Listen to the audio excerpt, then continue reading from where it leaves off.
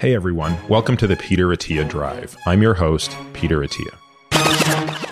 The drive is a result of my hunger for optimizing performance, health, longevity, critical thinking, along with a few other obsessions along the way. I've spent the last several years working with some of the most successful, top performing individuals in the world, and this podcast is my attempt to synthesize what I've learned along the way to help you live a higher quality, more fulfilling life. If you enjoy this podcast, you can find more information on today's episode and other topics at peterattiamd.com.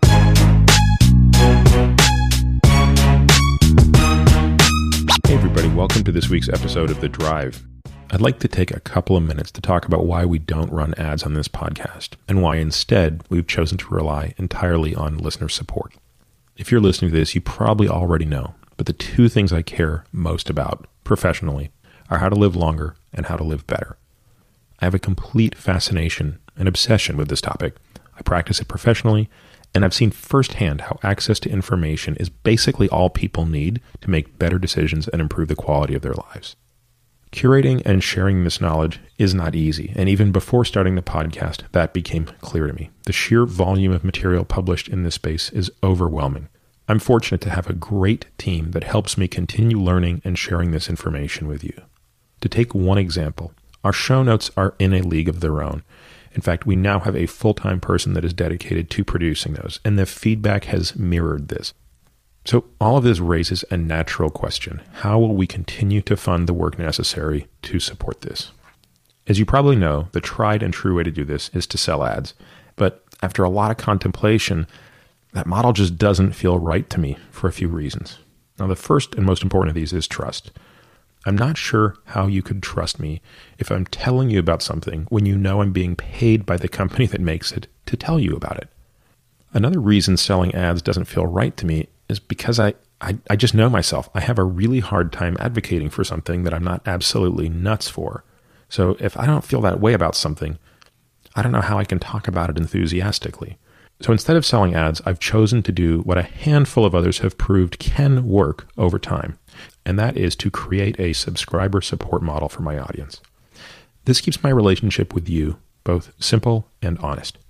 If you value what I'm doing, you can become a member and support us at whatever level works for you. In exchange, you'll get the benefits above and beyond what's available for free. It's that simple. It's my goal to ensure that no matter what level you choose to support us at, you will get back more than you give. So, for example, members will receive full access to the exclusive show notes, including other things that we plan to build upon, such as the downloadable transcripts for each episode. These are useful beyond just the podcast, especially given the technical nature of many of our shows. Members also get exclusive access to listen to and participate in the regular Ask Me Anything episodes. That means asking questions directly into the AMA portal and also getting to hear these podcasts when they come out. Lastly, and this is something I'm really excited about, I want my supporters to get the best deals possible on the products that I love. And as I said, we're not taking ad dollars from anyone, but instead, what I'd like to do is work with companies who make the products that I already love and would already talk about for free and have them pass savings on to you. Again, the podcast will remain free to all, but my hope is that many of you will find enough value in one, the podcast itself, and two, the additional content exclusive for members to support us at a level that makes sense for you. I want to thank you for taking a moment to listen to this. If you learn from and find value in the content I produce, please consider supporting us directly by signing up for a monthly subscription. My guest this week is Katherine Eban. Katherine is an investigative journalist, a Fortune magazine contributor, and an Andrew Carnegie Fellow. She has written quite a lot about pharmaceutical counterfeiting, gun trafficking, coercive interrogations by the CIA, etc. But what we focus on today, very specifically, is her most recent book called Bottle of Lies. This book is a really interesting and truthfully at times infuriating look at the culture of incredible deceit and fraudulence that exists in the generic drug manufacturing industry. I think Katherine does a great job in the book, and I think we do so in the podcast as well, walking you through basically how the stage is set. In other words, what are the regulatory environmental, cultural factors that allowed this type of practice to flourish. And then we dive really deep into one specific and infuriating example. I think I'll leave it at that. I'm half tempted to say more, but I realize everything that we have to say on this topic is covered nicely. This is not a technical podcast, meaning you will you don't have to know anything about how drugs work, and I think you'll get through this pretty clear.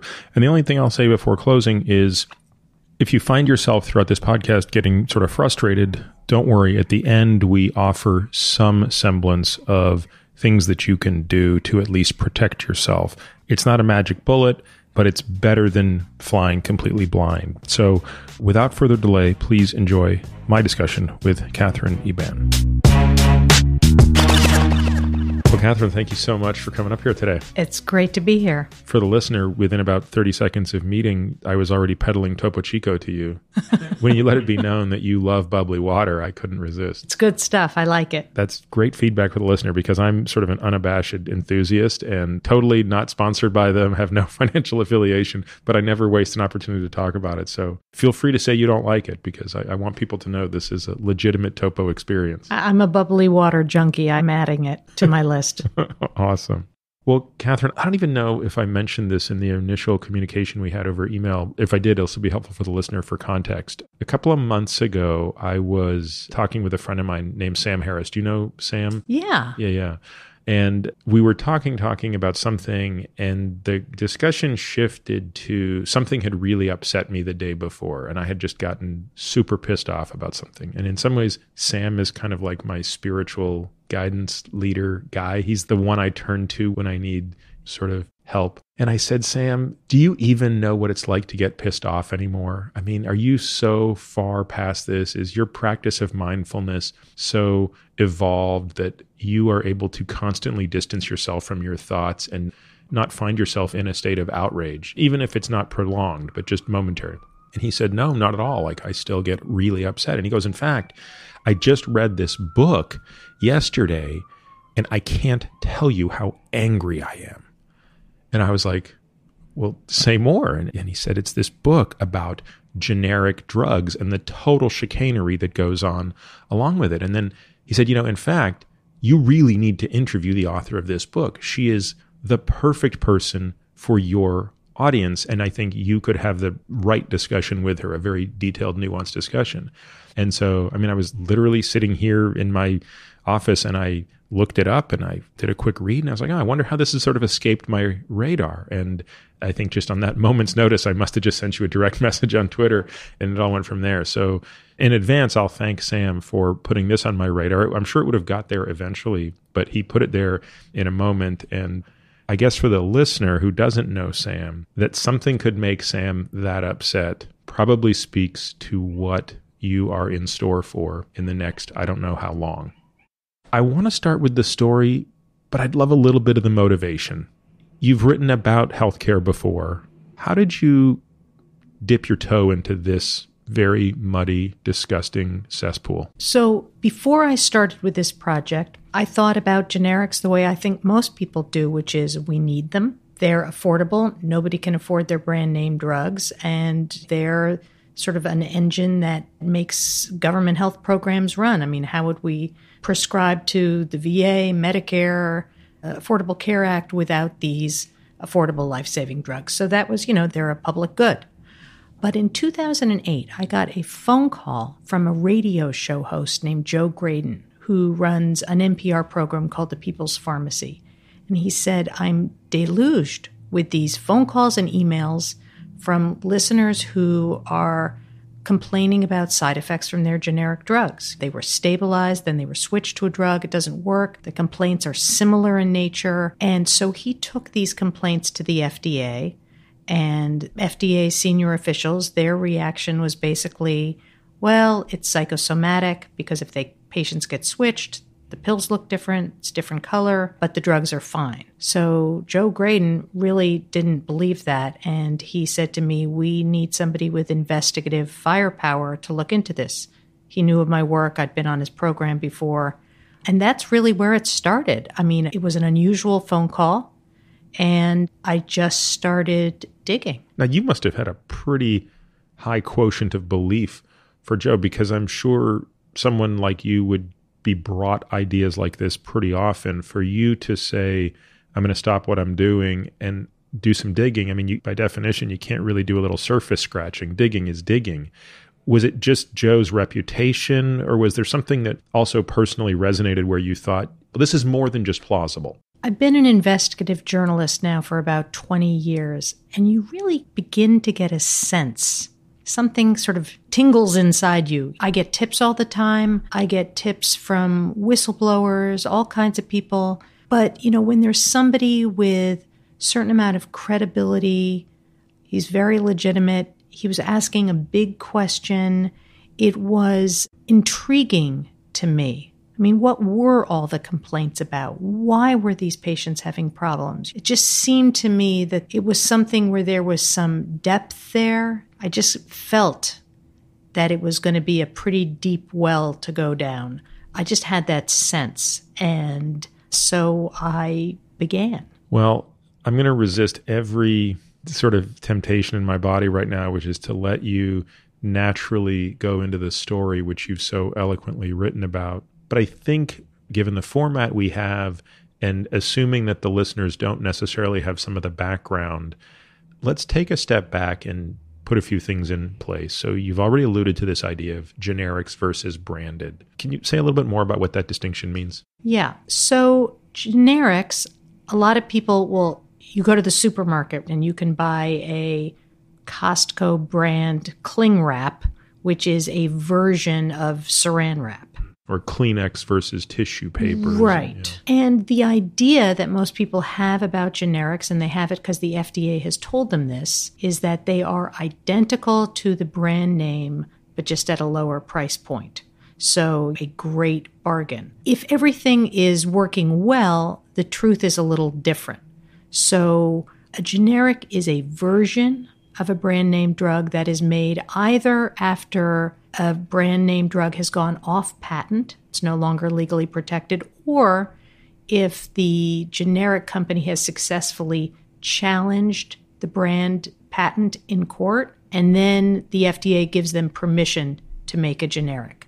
So the FDA recognizes, just to take a step back, if you make two batches of drugs in the same manufacturing plant using the same ingredients, those two batches will be a little bit different. There will be a little variation.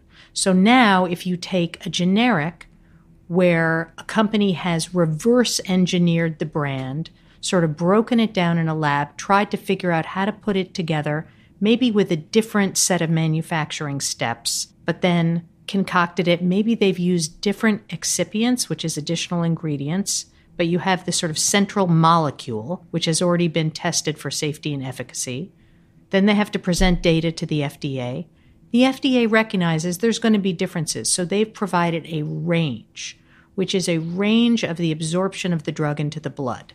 And basically, the generic has to present data to the FDA showing through their testing that they've hit within that range and that the drug is essentially clinically equivalent in the body, which is called bioequivalent. Now, I think for some people, it might come as a surprise that the company that makes the branded version of the drug would be anything but cooperative with the generic because the only thing the patent really discloses is the actual molecular composition.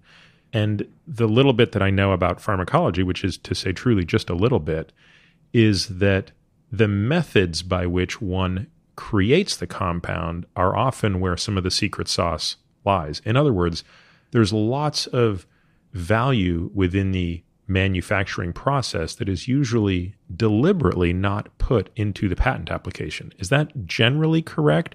Or do the methods typically try to capture that? I mean, I guess maybe I'll explain for the listener what we're talking about here. When you want a patent on something, you have to fully disclose it. So, in exchange for fully disclosing something, you have protection. The downside is when that patent is expired, you no longer have any protection. So, for example, Coca Cola chooses to not patent its formula. Instead, it is a trade secret because they never want to have the expiration. So technically, if you could wave a magic wand and figure out how to make Coca Cola, you could do so legally. You would not be infringing on their patent. But of course, the people at Coca Cola would, that secret is guarded apparently very heavily. And so my understanding is that in pharma, yes, they'll disclose the molecule because they sort of have to to get that protection.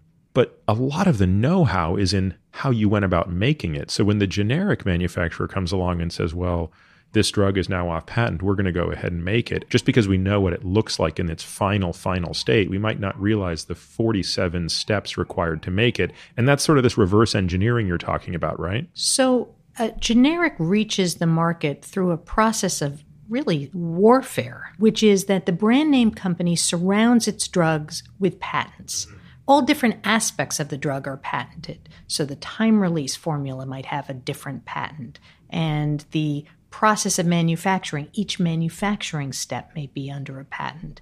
So they surround the drug with these protections. And then what a generic company does is gets a sample of the drug, they try to break it down in the laboratory and figure out, reversing the steps, how do you get to formulate this drug? One way to get around a patent is instead of a, B, C, D, E manufacturing steps, it's A, E, D, C, B. You reverse the steps, which is, by the way, legal to do in India, which is where I know we'll get there in this interview, but that's where some of the best reverse engineers in the world come from in India. But then they have to figure out well, how do they make the time release formula? And what sort of excipients or additional ingredients do they add? And how do they get the drug to dissolve properly? And is it stable under various temperature conditions? And those are all kinds of manufacturing secrets, which the brand name companies put in something that's called a drug master file. And that's like their cookbook. And that is proprietary, that is not disclosed.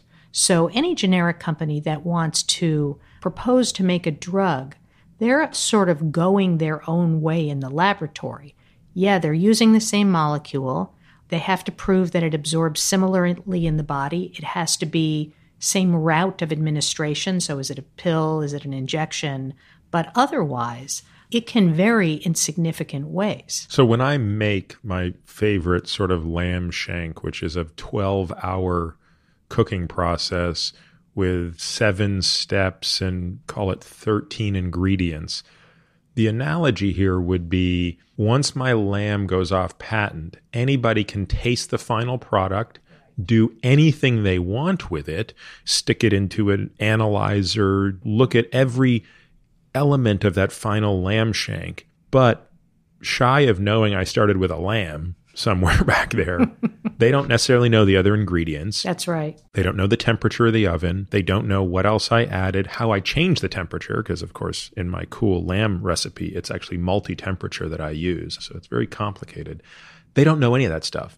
And they're expected to produce something that is plus or minus a little bit almost identical to the finished product in flavor, firmness, texture, everything without knowing how I actually made it. Yes. And I'll add one more thing to your analogy, which is they have to follow a set of rules that are imposed, to use your analogy, in every kitchen. So this is the same set of rules. We'll call these good cooking procedures. For the astute listener, you'll get the reference there. Right, exactly. So it's, in theory, the same very stringent set of rules the same central active ingredient and the same route of administration within a range. Yeah. Now, another kind of topic a little off the beaten path, but just to set the stage for people, anybody knows that they can go in and buy drugs off the shelf that are not prescription based, such as Tylenol, aspirin, Advil that also come in generic. So you can also buy acetaminophen. So every drugstore has their own branded acetaminophen, but there's only one Tylenol.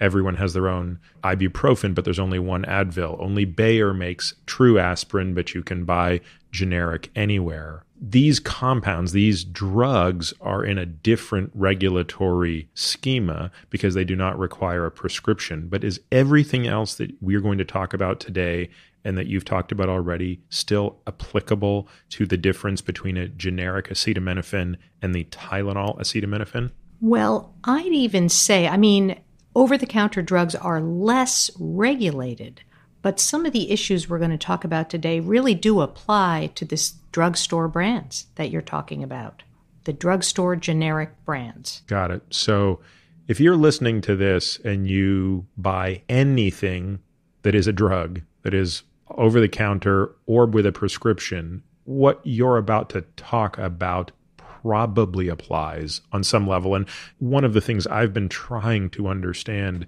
going through your book is the average magnitude of the problem. As we'll talk about today, you make a case for what the extreme examples of this look like. I still don't, and hopefully by through our discussion today, we'll be able to sort of tease out some of these things. But with that said, I think that's a pretty good background for most people to now understand what we're about to talk about. So let's go back and talk about the FDA. So you've already made reference to this organization a number of times. Where did they come from? How were they created and why were they created? So, the FDA really has its origin in a series of public health disasters that have taken place over the years. It was first formed in the 1930s, and this was after numerous children died from taking cough syrup that had been tainted with, I think it was arsenic. But all of this had galvanized public sentiment around the need for food and drug safety.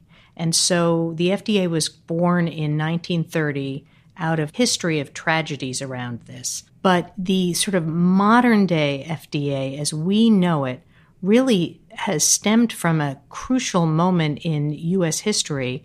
There was a reviewer at the fledgling FDA who refused to approve a drug called thalidomide. So this is now 30 years after. Yeah. Yeah, this is early 60s. Yeah, which was being widely dispensed in Europe to help pregnant women who were having trouble sleeping, Morning sickness. morning things like that, sickness. And she basically held firm, basically saying that she didn't have enough information on the drug. And of course, it turned out she was correct. America dodged a bullet because that drug was associated with children who were born with flipper like arms. So it was associated with horrible birth defects. And it was really sort of on the basis of that and other. Do you remember her name, by the way? I don't remember her name. yeah, But I love the story. yeah. Frances Kelsey. Frances Kelsey, who really became a hero. She's sort of the one that, as you said, took the FDA from being sort of, I guess FDR had sort of, it was created under FDR, but kind of limped along until the hero moment, which was the thalidomide story, right? Right. What's interesting is, is that in the beginning of the FDA, there was not this idea to focus on the manufacturing process. The idea was, well, you can't market something with absolutely no basis in fact. But then the question is, well, how are investigators empowered to figure out what is true and what is not? And really, the evolution of the FDA was around a focus on the process of manufacturing because the idea was it's impossible to test every single pill in every batch. But what became sort of vital and sort of underpins the modern FDA is this idea that the process is the product. That was right, the key change in how public health enforcement evolved. That basically you have to be able to document and prove that your process is under control, that there's a control in there in the process. And that's sort of, I mean, again, I don't know. It's not even like I'm hungry, by the way, but I'm just keep coming up with these dumb food analogies. But McDonald's can't test every Big Mac or French fry, but it's much easier at the centralized level to create procedures and then decentralized locally to be able to enforce the procedures around where we buy our feedstock, how we manufacture in the store, what the temperature is of the oven, how long a piece of food can sit here, et cetera. And if you put all those things in place, you have much greater faith that every French fry, every Big Mac is going to meet the safety requirement. Right. So, one of my sources early on gave me this analogy, and we were sitting at a lunch table at a restaurant. He said, A good FDA investigator is not just going to come in here and say, Is there a glass on the table? Is there a fork? Is there a knife? That's a kind of checklist inspection. But a good FDA investigator is going to say, what is the temperature of the dishwasher? And what is the procedure in the kitchen for bringing out these dishes? It's a very different sort of a mode of inspection than most people think of. Now, using your analogy, which seems to largely stop at the border of the restaurant, inclusive of the kitchen, right? So, what's the temperature of the dishwasher? What are the temperature of the heaters on the food behind the thing? Da da da. In that analogy, does the inspector also have the liberty to say where is the meat coming from? How far do the potatoes travel? And how were they planted? Absolutely. So, anything anything that enters that restaurant is under the purview of the FDA. That's correct. And so for people like me, most of the time and I suspect this is probably I don't know, we'll see. Maybe this is not what how everybody thinks about it. When I think about the FDA, I normally think about it through the lens of approving new drugs. So going from this standpoint of what's called an investigational new drug, an IND application, through to a phase one, phase two, and a phase three approval. And embedded within those processes are two things that are absolutely necessary. You can't approve a drug unless you can confirm that it is safe, and that's done primarily in phase one, but the safety monitoring continues into phase two and phase three, and even beyond into post marketing. And then the second thing that becomes more important by phase two, and then again in phase three, is efficacy. Does it work? And it's those two things that go hand in hand. And the FDA seems to have a very heavy role in saying, does this thing do what it's supposed to do and does it not hurt people? Were those mandates equally important at the time? I mean, clearly the thalidomide case brings the safety piece to light. Was efficacy also front and center on their radar throughout this evolution? Well, no, actually, it wasn't always. In fact, proving the efficacy of a drug was a somewhat new idea. I mean, I think that that was one of the things that Frances Kelsey was asking of these thalidomide manufacturers is what are the studies around the efficacy of this drug? Now, I mean, it's interesting fast forward when Trump was elected president and there were sort of names being floated. Well, who would his FDA commissioner be? And some of the names that were floated as possible commissioners were people who had made crazy public statements basically saying, well, manufacturers shouldn't have to prove that their drugs are effective in order to market them and let the market take care of and sift out all those questions, which basically was impossible for the industry to even comprehend because our whole system is based on the idea that the drugs that you're taking have been proven to work. Right? I mean, how would an insurance company even decide what to cover you for if we're all potentially taking drugs that are not effective. So, effectiveness is like key to the modern concept of drug approvals. Yeah, and luckily Scott Gottlieb became the commissioner, although he is at the time of this recording no longer the commissioner. Right. Which I didn't know Scott. I don't know Scott, but I know many people who do. And fortunately, everything I've ever heard about him is that he was the right person for the job. So it's in the 60s. The FDA kind of gets a second wind on the basis of this, as you put it eloquently, uh, they dodge a bullet. I mean, the United States, I can't remember if this was in Canada as well, if, Canada dodged the thalidomide bullet, but certainly in the United States, the bullet was dodged. So you've already alluded to this idea of there being branded drugs. So pharmaceutical companies are pretty smart. When they create a drug, the branded name is really easy to remember. And the generic name is really hard to remember. That's a design choice. I remember learning this in medical school class in pharmacology, which was you show up and you only learn the generic names. That's the way you're taught every drug. And I remember thinking, God, these are so complicated names. Like, just come up with something normal. And the professor sort of said, Look, idiot, they don't want the public to know these names. They want you to think Lipitor, not atorvastatin. They want you to think Viagra, not sildenafil, right? These are very deliberate choices. So, up until about the early to mid 80s, you could make the case it was almost impossible for a generic company to compete with a branded pharma company based on the regulatory environment. Is that a safe statement? Well, that is because basically anybody applying to market a drug had to prove safety and efficacy.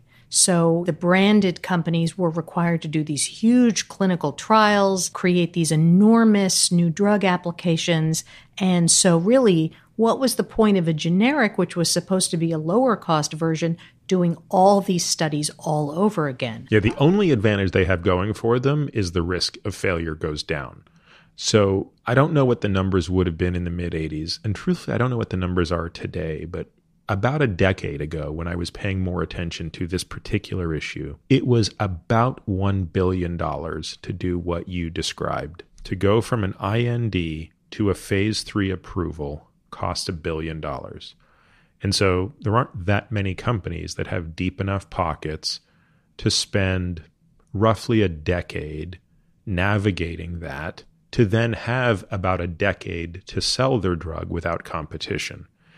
So if you want to open up your own generic drug company and you know that Viagra is about to come off patent, what advantage do you have that Pfizer didn't? That's a bad example because of how Viagra was discovered, but drug X, whatever. You at least know it should work. You, you know you're not in store for a phase one, phase two, or phase three disaster, all things equal. But there's no denying the cost of doing all of that. And to your point, how can you do it? So, of course, this brings us into the question of how the generic industry really got its start in the United States. And so, wasn't Orrin Hatch half of this law, or am I make, mistaking that with another one? No, no, no. So, what happened was actually the generic industry owes a lot to a crusading investigative journalist named William Haddad. And he did an investigative series on sort of cartel like pricing practices in the antibiotic market of branded companies. And sort of in the wake of that, he became very interested in generic drugs and also interested in the fact that there was no good pathway for generic drug makers to market their drugs. So, to be clear, up until this point, generics existed. They were created and largely consumed outside of the US, though. Right. And they existed within the US, but sort of they were few and far between. There were many, many drugs that had come off patent years earlier, and there was no generic substitute for them. So he ended up walking the halls of Congress with a couple of like minded colleagues. And his efforts led to what was called the Hatch Waxman Act of 1984, which Reagan signed into law. And basically, what that said is it created a pathway at the FDA for generic drug makers to apply for approval and said the safety and efficacy of these molecules has already been established, so you don't have to reprove that. You don't have to do clinical trials on thousands of people. What you do need to do is prove that your drug is bioequivalent to the branded product. So you have to submit data from your tests, which shows that your drug falls into that range we talked about of absorption into the blood and that it remains stable at certain temperatures, that it dissolves properly in the body. And then we're going to review your data and see if we're going to give you approval. But the generic drug makers still faced a significant risk, which is they would almost certainly have to litigate against the brand name companies, and they might not end up getting approved by the FDA. So there was a really crucial little deal sweetener in Hatch Waxman. What it said was if you are first to file your application and you get approved, you will get six months of exclusivity on the market without any generic competitors. And what that meant for generic makers is they could price their drug at about 80% of the brand name drug price. So they would get this six month window where they could make big money. And that was a big incentive. At the time, was there an understanding of what the price would collapse to after six months with multiple entrants? Was the idea that the steady state ultimate price is going to be, was there an expectation, at least baked into Hatch Waxman, that said, look, by the time it's an all hands on deck open field running generic market for drug X with 10 generics out there, they're making 30 cents on the dollar. Or I just wonder how the six months came about as the period of time, because truthfully, that doesn't strike me as very long when you consider how much protected time the branded person got for the risk they took. Six months seems a little short. It shouldn't have been 20 years, but it, it, it struck me as that that was always a bit short. That created a bit of a perverse incentive in my mind. I mean, as we saw, it created a perverse incentive. Yeah. I mean, there's no question about that. But it actually I mean, it really was the difference between, as I have said, making a fortune and making a living. I mean, you look at generic Lipitor, the first generic Lipitor that came on the market, six months was worth about $600 million. Yeah, which is staggering when you realize how much is saved in not having to run a billion dollars worth of clinical trials. Right. Right. Wasn't it our friend that actually came up with the first generic? Wasn't atorvastatin? It was Ranbaxy. There you go. Well, we're going to hear a lot more about Yeah. these bozos. That's charitable. When you're not on NPR, you can just come out and say bozos. Uh-huh. So I want to plant a question with you now that I'm going to ask you at the very end, but it's a question that I've been mulling over for a long time without a great answer. And therefore, I don't think it's fair to ask you in a moment. And the question is this knowing what you know now, everything that happened, the best of intentions, the best laid plans falling, if you could go back in time to Hatch Waxman, how would you rewrite that reg? Because truthfully, I think at least one aspect of Hatch Waxman made sense. I think it was reasonable to get rid of the efficacy, safety, huge clinical trial.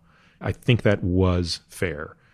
I think everything that came after it in the reg fell short. But I haven't got a great answer for what I would do different. I have a whole bunch of little answers. And so I want to plant that seed with you because not that there's huge value in looking through the retrospectoscope, but it is an interesting philosophical question, if nothing else. And it might actually offer an insight into part of the way out of this problem going forward. So we'll come back to that in a little while.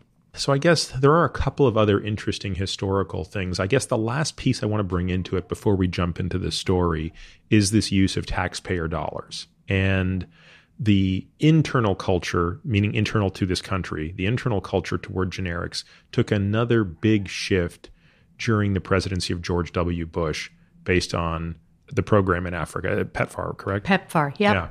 So, talk a little bit about that program, which I think does factor into this story in the broad arc. So PEPFAR was really born of the best of intentions and was sort of maybe one of the most sort of brilliant, innovative globalization ideas, which is that the developed nations of the world and us, the US, could use taxpayer dollars to buy low cost generics from India and send it to Africa to address the AIDS crisis. So, in that sense, it was really remarkably innovative. So, George W. Bush announced the intention of PEPFAR during 0203, and this creates a little bit of a tension within the administration, right? Because how are you going to fund? Well, the question isn't how you're going to fund it, it's what are you going to buy? Right.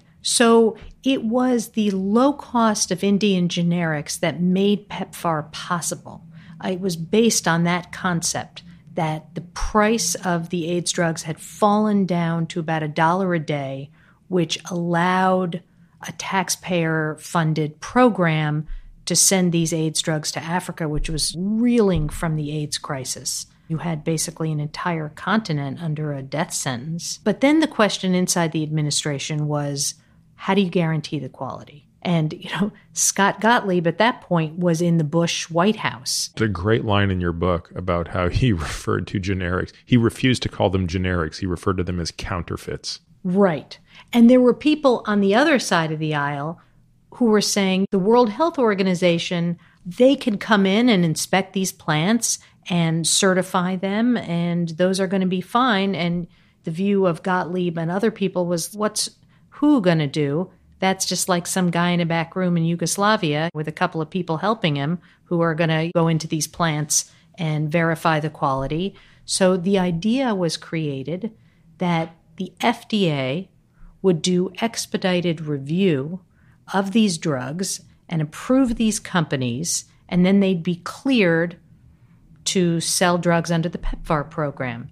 But with the FDA suddenly in the business of approving these Indian companies, it created this idea well, if these Indian drugs are good enough for our regulators to approve, shouldn't Americans be taking them too? And this, of course, is in the backdrop of, even though at the time I think the thing that was on most people's mind was foreign affairs. The Iraq War had reached sort of its peak, or I shouldn't say it reached its peak, but probably reached its peak attention, maybe.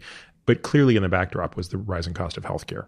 And a big component of healthcare is drug cost. So this became, well, if PEPFAR is making a very strong, compelling case that we can be using Indian manufactured drugs to pay for a program in Africa, shouldn't we be looking at the same drugs here in the United States? Absolutely. And you had Indian companies who had long been regarded as just fakers and counterfeiters who were suddenly cleared by the US FDA, which was a huge point of pride for those companies. So they wanted to get into our market because if you make drugs, we're the market you want to sell to. We're the biggest, most profitable market. So it was really a convergence of these two things. And so everything that I think we've just talked about sort of sets the stage for the listener to now really understand the story about one company that you use as I don't think anybody would believe that they're the only company that's out there at the depths. They just happen to be the one for which a set of circumstances which you'll explain allowed us to be able to do the post mortem at the level that it's been done. So Tell us about this company. So, Ranbaxy was India's largest drug company. And in India, that meant it was a generic drug company. I mean, India, by and large, was not innovating, creating molecules. What they were doing is they had become master reverse engineers. And Ranbaxy was one of the sort of handful of companies that was a true multinational. It was out there in world markets, and it was one of the first companies, Indian drug companies, to get approved under the PEPFAR program. So Ranbaxy was closing in on a billion dollars in global sales and had its eye on becoming one of the world's top drug companies in short order. It was very ambitious. It had a lot of what are called the first files. So it had been approved by the FDA to be first to launch various high profile drugs in this market, including generic Lipitor. And in 2003, the company ended up recruiting a young engineer named Dinesh Thakur. He had been working at Bristol Myers Squibb, which was a highly regimented corporate culture. He moves his whole family to Gurgaon in India, which is outside of New Delhi. Was he working at BMS in Europe or? No, in New Jersey. Okay. So he was working at BMS in New Jersey. And the environment, just so your listeners understand, the environment of a Western drug company, which is so heavily regulated, it's hard to move an inch without a stack of paperwork. Everything is documented, the controls are really rigorous. That said, obviously, we know there are scandals all the time, but the atmosphere is one of real control. So let's use the food analogy, right? You're walking into the cleanest, most pristine kitchen that looks like you could eat off the floor. If one crumb is left on the counter, it is swept up three times, it is cleaned, it is disinfected. On any given day, the kitchen looks as it looked any day before and will look any day in the future.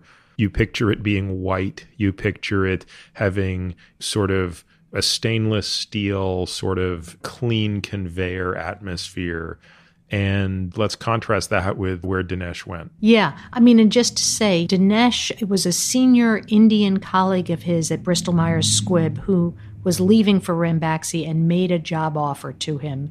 They were walking around the lake on the Bristol Myers campus in New Jersey. So I went to that campus so I could recreate it in the book because it's in the opening chapter.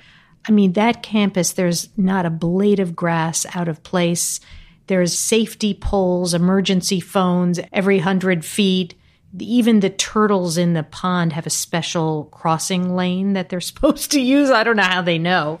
Uh, you know, and every blade of grass is, I mean, it's just perfect. It's an environment of total control without variation. And that is like the goal for any drug company. So Dinesh moves his family to Gurgaon. And Dinesh grew up in India? He grew up in India. And at this point in time, do you get the sense? I know it's the story will get so much more complicated that the answer might change, but Do you think he thinks of himself here as more American or more Indian as he's about to leave New Jersey for a return to India? Well, that's an interesting question because so many of the Indians who work in the US, who I interviewed for this book, um, you know, a number of whom went to go back to India, they really saw it as such an important homecoming. I mean, it's a moment in time where India is emerging onto the world stage, and they saw it as such a sort of patriotic act to help bring their. It's a reverse brain drain. Yeah, yeah. So the return to India, there was a lot of pride for them in it. They imagined themselves as creating a kind of Pfizer of the 21st century for India. So hmm. I think that was really significant for them. Anyway, so he gets to India and he finds complete chaos at this company. I mean, there is just active ingredients that are in the employee refrigerator next to the half and half. There's fist fights in the boardroom. There's orders to just delete documents that are required for regulation. They don't even have the same sort of format or font for any of these presentations. I mean, one of the first, so his job was to help standardize and track all the information in this company. I mean, his job was to sort of collate information about the global pipeline of this company. I mean, they didn't even have any standardized financial reporting in their presentations and in their bookkeeping are they keeping track in rupees or in dollars? Nothing was standardized. So he senses from the chaos that he is needed.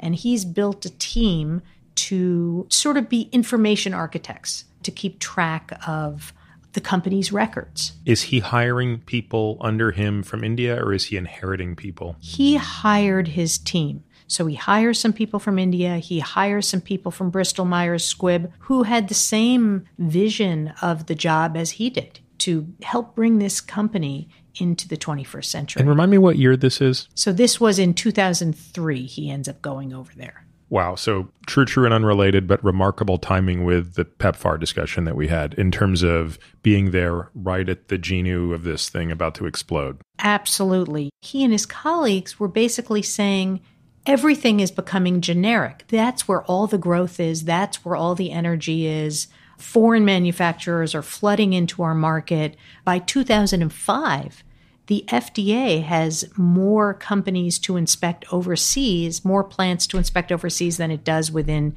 US borders. And I know we'll talk about that a little bit well, later. I, I was actually just about to go there for a second, but we'll come back to it. Give us a sense of how the FDA could exercise its authority. Again, thinking about this through the sort of kludgy analogy of a chain restaurant or something or something. Some, basically, the reason I use that example is because it's like making your commodity product. Like a Big Mac is a Big Mac is a Big Mac. Do they just get to show up at McDonald's and inspect the McDonald's in India? I mean, how do they have to give advance warning or notice before they come? Is it done remotely? Is it done in person? How does this process work? So, the FDA basically has two sets of tools to figure out whether a generic drug should be on the market. One is the review of all this data, which the companies submit in what's called an ANDA, an abbreviated new drug application.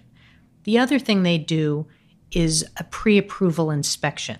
So you submit your application to market a generic drug in wherever it is, whether it's in Mumbai or in Memphis. The FDA wants to come and inspect your plant to make sure you're not going to be manufacturing these drugs in your garage or in an outhouse. And at a minimum, to be clear, this happens at least once because after I submit all of the data that back up my claims that I basically have a bioidentical drug. So it has the same chemical composition, it has the same distribution within the body, it reaches the same concentrations in the same periods of time, et cetera, et cetera, et cetera. Assuming those data are righteous in your mind, you still have to at least once come and lay eyes on my facility. Right. And ideally, you come to do a pre approval inspection. Can you make the drug in question? And then, under regulation, the FDA would come back in two years. And how is it going in that plant? Are you still making decent drugs or are you just running a pharmaceutical slaughterhouse and following no rules? So they will come back and check that.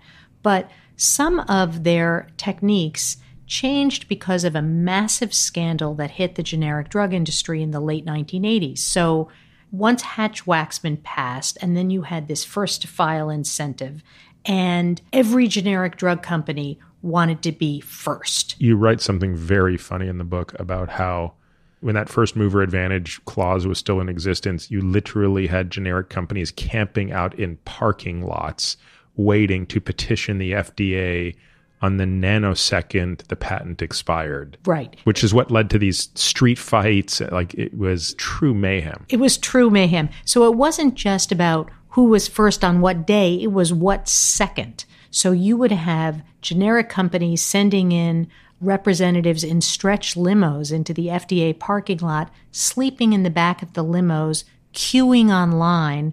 I mean, I even describe one company executive pushing another one out of the way just before the doors of the FDA open so they can be first. So there were actually fist fights in the parking lot. And so the FDA ended up changing that requirement a little. But suffice it to say, that first to file was like rocket fuel for the generic drug industry. And what you saw very quickly was a massive scandal. It started with a company called Mylan, which was a West Virginia generic company. And they noticed that they were not getting drug approvals anymore, and that there were other companies that didn't seem to really merit it, but they were getting approved before they were. And they hired some private detectives who started going through the trash of FDA reviewers and found that they were being bribed by these companies to get online first. And that led to a huge scandal, congressional hearings, and the result of that was more stringent inspections by the FDA. That was where the pre approval inspection came in. And that was also where something called an application integrity policy came in. It was a new tool for the FDA to say, you know what, if you're faking your data in applications, which some of these companies were, we have the right to basically remove your applications from the queue, to shut down your pipeline, to not review your applications because we don't trust you anymore. And was that a durable response or was that for just that compound? In other words, if a company was caught falsifying data, was that just disqualifying them from that drug, or were they then disqualified as a producer of generics in general? They could be disqualified as a producer of generics generally. And did the FDA exercise that much muscle on any company? Very infrequently. It became a very, very rare enforcement tool. And what was the was the sort of net effect of the bribery within the FDA? Were those individuals prosecuted to the fullest extent of the law? There were huge prosecutions. I mean, it was, there were details like literally company executives who were roaming the halls of FDA and dropping envelopes of cash on people's desks. So, in the congressional hearings that followed, the question was who's clean? How do we trust any of these companies? And so, these enforcement mechanisms were added to the FDA's arsenal. So supposedly everything was fine after that. I mean, the whole thing just, you got to, like, I'm only laughing because the alternative is just to scream. And sometimes laughing just feels better than screaming and raging. But it really speaks to, on some level, the worst of human nature, which, if you're a cynic, is like, look, in the end, entropy always wins, gravity always wins, chicanery always wins. Create a rule, the scum of the earth will always, even if they start out with well intentions, the scummiest of the scum will always figure out a way to cheat the system. And if you haven't read it, I can't resist, I cannot resist a chance to always plug her amazing work. Mistakes were made, but not by me by Carol Tavris. Have you read this book? I haven't. Oh, so it's a must read. And in fact, I've already interviewed Carol on the podcast along with Avrum Bluming, who's a partner of hers on a totally different topic, which is around hormone replacement therapy. I will be interviewing Carol subsequently on this book, which she has written so many years ago and told me she will never again do a podcast on because she's so sick of talking about it. But as a favor to me, she is going to do a podcast and we'll talk about it. But it talks about this sort of very slippery moral slope. And I realize that's not really front and center to what we're talking about, but we do have the luxury of time and we can pause for a moment because it is a question that comes up a lot when a person would read a book like yours, right? Which is how can there be so much moral corruption? And we, myself included, and perhaps myself first and foremost, we're so quick to put ourselves on the pedestal, the moral high ground. You know, I could never have been that FDA officer that would have been corrupted by the bribe. I could never have been that executive that would have pushed the other guy out of the way to get in line or that would have dropped the cash in the situation or blah, blah, blah, blah, blah, blah. But the way Carol writes about this, you realize that the first infractions are never these big ones. They're very minor infractions and they often come with a reasonable rationalization. She uses a great example among many, which is the cop who plants evidence on the suspect. In the end, you see what it looks like when it's Mark Fuhrman, and everybody knows how that story ends. But was that the first time he would have done that? No. The first time he did it is probably more like this there's a suspect who is absolutely the drug dealer of the town. You barricade the house just as you break in, he manages to lock himself in the bathroom and is flushing down barrels of cocaine and heroin. And as you finally break the door open, you see the last of the cocaine and heroin go down the toilet. And in theory, he walks away free. But you're not going to have it. Not this day, not on your watch. You're going to take a little bit of cocaine, you're going to throw it down, you've planted it, you arrest him. And you can live with that because, in fact, you actually saw it with your own eyes. You knew he flushed it down the toilet, and this is simply justice. But now you're on the wrong side of morality for a moment, albeit very briefly. And now you have a choice, which is you continue to rationalize your behavior or you walk back from it. And most of us can't. And we take one step further and further and further. And so I couldn't help but wonder as I read your book, what were those first infractions like for all of these actors that you've talked about and will continue to talk about? Because you're showing us the most extreme state of these behaviors, which at the individual level, I think probably follow an arc like that described by Carol. And I think, frankly, at the population level, just follow the laws of nature, which is you create a weakness, it will be exploited. I think we'll get into this a little more, but what's interesting is you take that example that you gave of the cop and the suspect, but now put 7,000 miles between them. So there is this whole question about integrity in a globalized world and different actors in different cultures who are supposed to be following one set of rules. And it becomes like way more complicated. Yeah, I want to come back to this point about the cultural differences between them. I've already sort of derailed you enough. Let's go back to the point of basically there's a congressional hearing in the late 80s, early 90s that finds out the FDA is not entirely clean, right? So right. you've got a bunch of bad actors. Right. The belief is the bad actors are now out and how does that change the FDA going forward, and what are the implications for these inspections? So, the FDA is this agency that never has enough funding, never has enough resources, and never has enough authority. There's not a cabinet member from the FDA who sits at the table with the president. So the FDA ultimately reports up to HS HHS. HHS, yeah. Right. So it's sort of a stepchild as an agency. It's a kind of under-resourced agency which is in charge of safeguarding like a quarter of our economy. I mean, anybody who has had a meal they haven't died from or taken a pill that hasn't killed them, we're all relying on the FDA to save us. So it's an incredibly important agency. It's been lacking in authority. So there's always a question of whether it has been an effective policeman.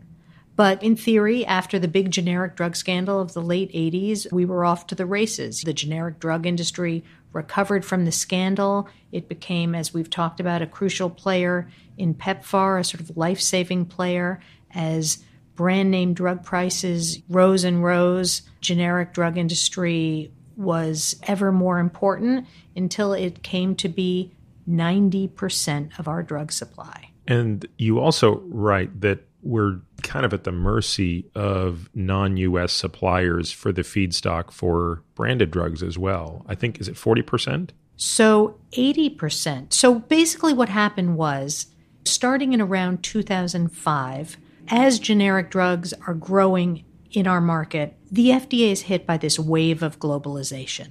Suddenly, it's got way more plants to inspect overseas than it does within the US. We've got many more applications for drugs coming in from overseas than in from the US. So the FDA is tasked suddenly with becoming a global agency almost overnight. And then fast forward to where we are now, which is 80% of the active ingredients in all our drugs, brand or generic, are coming from overseas. 90% of our drug supply is generic, and the majority of those drugs are being made overseas. You know, 40% of our generics alone are coming from India. We make almost none of our own antibiotics anymore, which means if you go to a pharmacy and fill an antibiotic prescription for your kid, it's coming from India or China. So suddenly we're in this whole new world where the FDA, which has in the past struggled to inspect plants that are like driving distance from their headquarters, is now having to send inspectors 7,000 miles away. Which brings us back to Dinesh. Right. When does Dinesh start to figure out that, okay, I acknowledge I've gone from the pristine campus of Bristol Myers Squibb to rural India? It's going to be different. But when does he realize it's different in an unethical way or in a way that isn't what he signed up for? The mentor from Bristol Myers Squibb who recruited him to come to Ranbaxy, Rashmi Barbhaiya. Well, this is not Kumar. Kumar was his boss there. But. Well, to so start with Rashmi Barbhaiya. Barbhaiya says to him, I'm leaving and he's disgusted with the company and he won't really say why. So Dinesh is upset. He moved his whole family over there, but now his boss is leaving, but he gets a new boss. Raj Kumar. He's a kind of blue chip professional who came from GlaxoSmithKline in London, and he comes in as the head of research and development. And he's been on the job about six weeks, where he summons Dinesh to his office early in the morning and he says to him, We have a big problem. It turned out that the World Health Organization went and inspected this contract research organization that was doing some testing for Ranbaxy. And it turned out that the tests were fake. Like the patients that they were testing the drugs on. Wait, I'm sorry. So the CRO was themselves fraudulent? The CRO was fraudulent. Okay. And the quote unquote patients that they were testing the drug on didn't really exist. And they were just sort of Xeroxing blood test results. But Raj Kumar, his new boss, had learned that that might not be the only problem that Ranbaxy has. He's beginning to get suspicious, and he's very ethical. So he, t- he gives Dinesh an assignment. He says, I want you to take your team and I want you to research all of the global drug filings of Ranbaxy. So, all the applications that the company has submitted to regulators around the world, I want you to research them, figure out is the data real? Is the data fake? Where does the company's liabilities lie? And so that's what Dinesh begins to do. It's hard to sort of understand what you just said. I mean, I understand the words you said, and because I know the story, this isn't the first time I'm hearing said words. It's quite another thing to try to actually put yourselves in the shoes of, for example, Kumar and the people who are there seeing this for the first time, because your thinking is, wait a second, this isn't a mistake. A mistake is the wrong batch of the drug got shipped to this mm-hmm. study and the patients are receiving something incorrect, or there was a contaminant in this batch, we didn't know about it. In fact, even if you go into next level mistakes, like there's a contaminant that's there, we saw the data, now we are trying to cover it up and pretend it didn't happen while we repeat the experiment. Like you can come up with lots of shades of dark gray. This is as black as it gets. I mean, this is sort of make believe. I mean, put it this way if you're going to the level where you are fabricating data to this extent, at best, you're shipping a placebo pill. That would be the best scenario. At worst, you're not even taking the time to ensure you're shipping a placebo. So at that point, Raj Kumar, Dr. Raj Kumar, did not know what he was looking at. He'd heard murmurings about some falsification. He'd gotten this letter from the World Health Organization saying that the CRO was submitting fake data. Was the CRO an Indian company or a non Indian company? It was an Indian company. So at that point, Kumar is coming to Ranbaxy with a mindset from his time at GlaxoSmithKline, where anybody who signs off on a regulatory filing is certifying that it's all legit. Yeah, so this is a failure of imagination at this point. He can't even imagine what's going right. on. He's not sure what's going on, but he's saying to Thakur, I want you to take your team and tell me what's going on because I don't know. Now I have questions about the legitimacy of some of these filings. Okay. Does Dinesh ever go back and talk to his original boss? and find out because if if six weeks or eight weeks on the job your new boss drops this bombshell on you do you go back and think wait a minute does this have anything to do with why my old boss left who's the guy who recruited me here in the first place well you know at this point Thakur is wondering that his boss left with a great deal of bitterness there were some murmurings about some huge settlement he got he had said cryptic things to him like, I was trying to change the tires on a car that was going 80 miles an hour. But he never said what he knew. He just left. So Thakur begins this crazy research project, which is to do research on every single global filing that the company has made going back 20 years. So the questions were what was the data that was filed with different countries? What was the raw data connected to that data? Did the raw data exist? How were the studies done? Where were the studies done? At what manufacturing plant? What were the processes and procedures that led to the creation of that data? I mean, this is this sort of vast undertaking that Thakur's team began on. And, you know, because of just a word about Dinesh Thakur, I mean, he was this kind of single minded, very ethical and somewhat sort of blinkered individual who was like given a task and he was going to do that task. And he didn't step back and say, well, wait a minute here, folks. I'm investigating my own company. So, what are the possible ramifications of that? I mean, he didn't really stop and think about that. He was just intent on getting the right answers. So, of the filings that he investigated going back to the early 80s, what did he find? So his team begins to uncover Ranbaxy's secret, which is that they have basically fabricated data for more than 200 drug products in 40 countries. Some of the data they just completely made up, some of it they manipulated or altered, in some cases, they were using brand name drugs, which they would just crush up and test in order to generate data that, of course, made the drugs look bioequivalent because they were testing the brand name drugs and representing them as their own. And then, presumably, when approved, they would then ship what?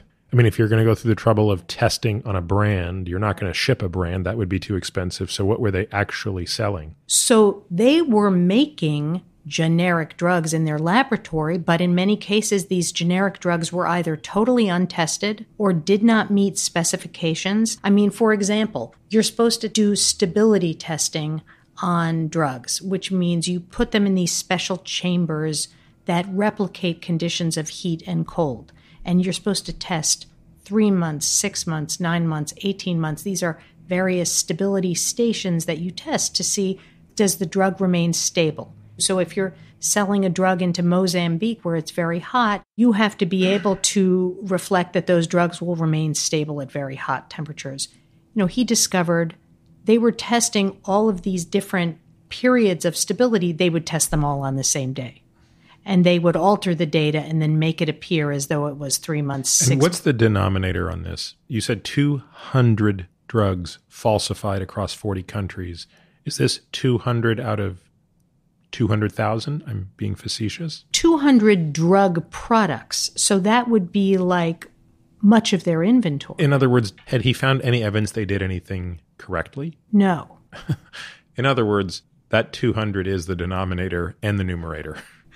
I, I am not certain, but it looked like it. That basically, It's unlikely that they did five of them right and then they BS their way through 200 of them. right. So that basically, this was This was how, their business model. The business model was fraud. Right. Their business model was fraud, and everyone in the company was in on it, in that people were given orders to swap out ingredients, to replace higher quality ingredients with lower quality, to do all the stability testing on the same day, to use the brand name drugs.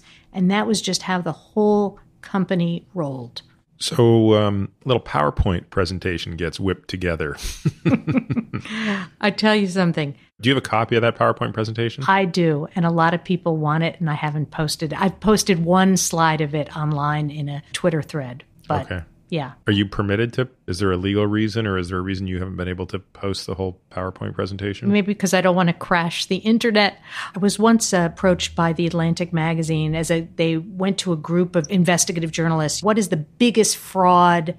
What is the most remarkable fraud in the history of the world? And I given them an example. This was before I did this book, but I will say that it is hard to imagine a more incriminating document than this PowerPoint, which basically says we have falsified data in every market where we sell drugs, in every product that we sell. We have done it simply for the purpose of facilitating our business needs. We have put all our partners at risk. And there is only one solution, which is to notify every regulator in every country where we sell our drugs, pull all our drugs off the market, and fly right.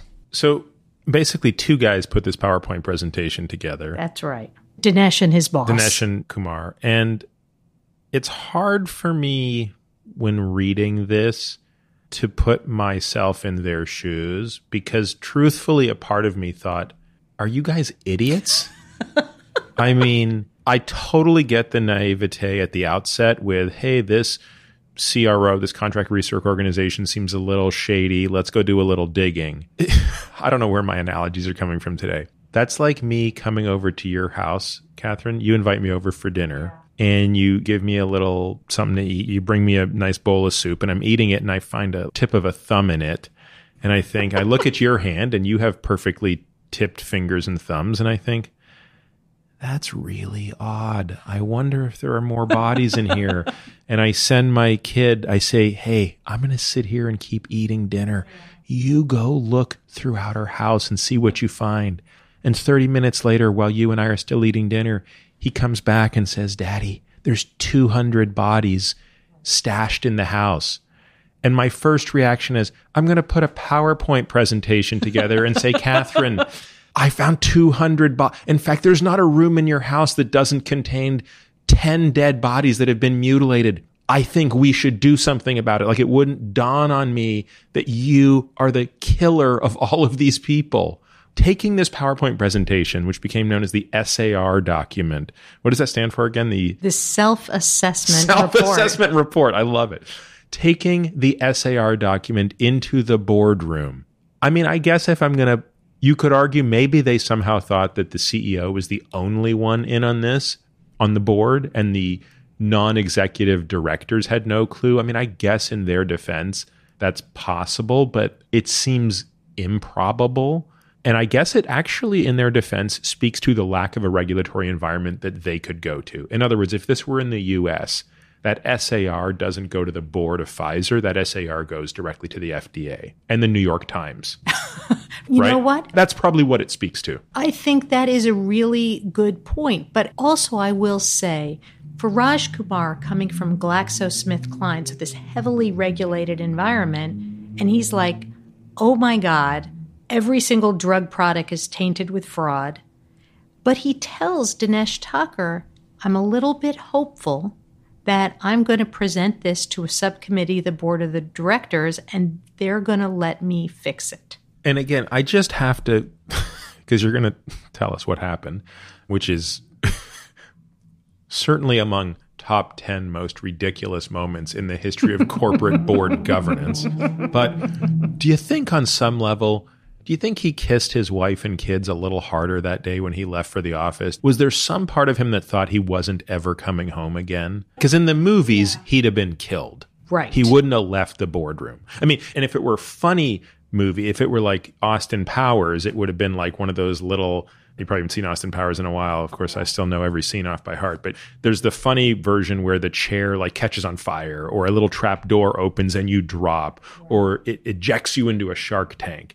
In the not as funny version of this, in the Godfather Goodfellas version of this, on the way out to the car, you get sort of clubbed, bag over the head. You're never seen again. How did he not think that that was a strong possibility. I'm not exactly sure what was going through his mind at that moment, but one interesting anecdote that we didn't mention is as Dinesh Thakur was putting together his findings, he comes home and he has his three year old son there, and he realizes wait a second, I gave him a Ranbaxy drug because he had an ear infection and he did not get better. And the doctor then switched him to actually to a GlaxoSmithKline antibiotic, and the boy got better right away.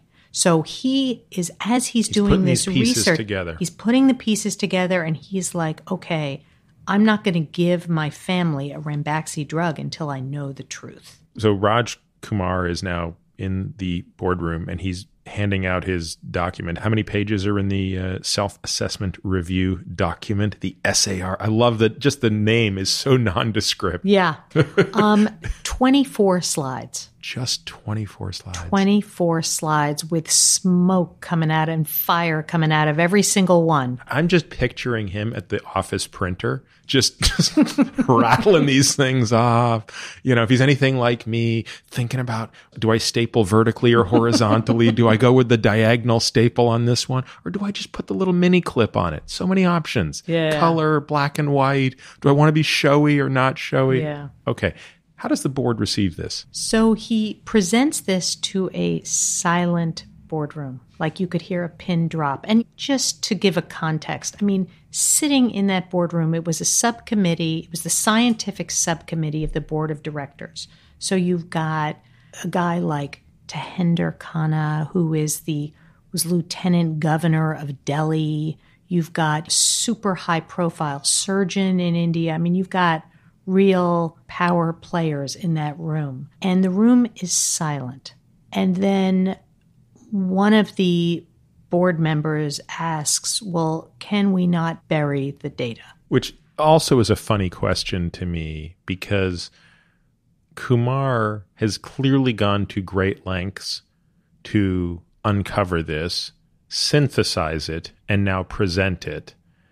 My general take on this is a culture of incompetent incompetence. You see, if you want to be a true fraud, shouldn't you be watching more gangster movies? Shouldn't the board's response have been, Raj, this is exactly the kind of stuff we are looking for our lieutenants in the field to bring us. Thank you. We will take action immediately. By the way, can we borrow your laptop? We want to make sure we have more copies of this. And then they let him leave, and then they destroy the laptop, and then they unceremoniously fire. Like, again, not to give the criminals too many pointers here, but was anybody competent in this arena? Like, these guys don't even know how to get out of a bad situation. Because now you've just told the guy who's telling you, I think this is the biggest scam in the world.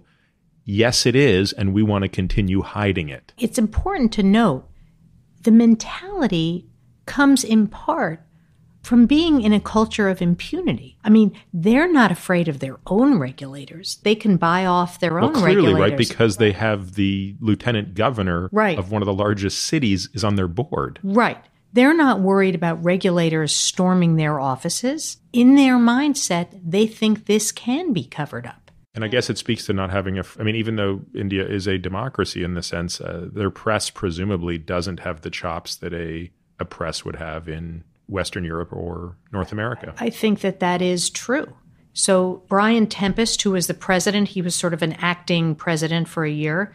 He says he tells Raj Kumar to leave behind his laptop, which then gets broken down piece by piece. I'm picturing like office space with the ba- like. By the way, that photocopier hasn't been working either. So that photocopier plus Raj's laptop, get him in the parking lot. Right, and throw it all into the Ganges. Right. And they had sent the secretary out of the room, so there were no minutes of the meeting.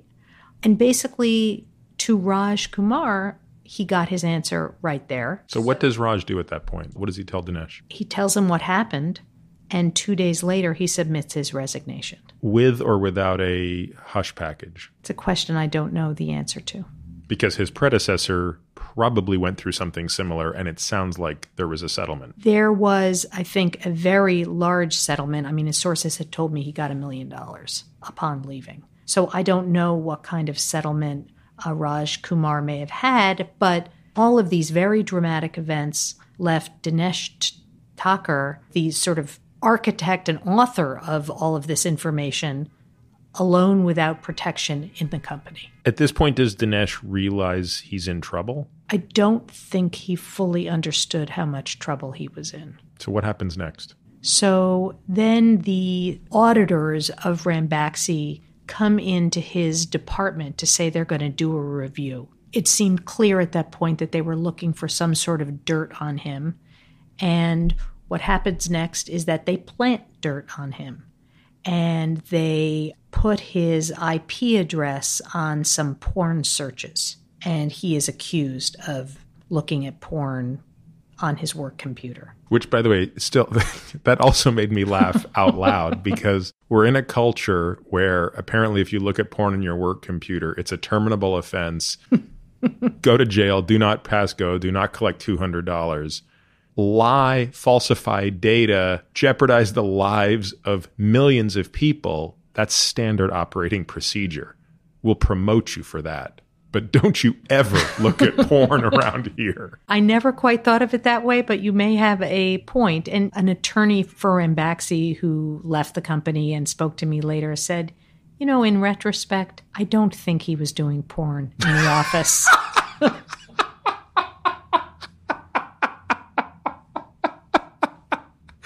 I mean, again, I'm laughing only because I need another response beyond rage. I just I have to make fun of a lot of this, even though there's nothing funny about this. Dinesh, remind me how many kids he has. Does he just have the three year old? So at that point, he has a toddler basically at home and his wife, and he's moved his young family over to Gurgaon from New Jersey. And is his wife also from India originally? She is. And is she abreast of what's going on? No. And that was another very interesting thing in both reporting this and writing it and thinking about it. They had an arranged marriage. They had seemingly a good working relationship, but really never communicated about any of this. She didn't know why he was down in his basement office working until midnight collating these streams of data. He was actually looking at porn on the company computer. you obviously missed that detail. He never told her. She never asked. So he's kind of going through this alone. He's lost his mentor who brought him. He's now lost his boss. Yeah. All jokes aside, this is an incredibly frightening, isolating experience yeah. for him. And so he submits his resignation letter. What year is are we up to 05 now or yeah, in we? 2005. Okay. He comes back to the US at this point if I recall. No. So there he is in India and he's trying to get on with his life. He's doing some consulting, but of course, he had no plan to leave. It's not like he had a job lined up.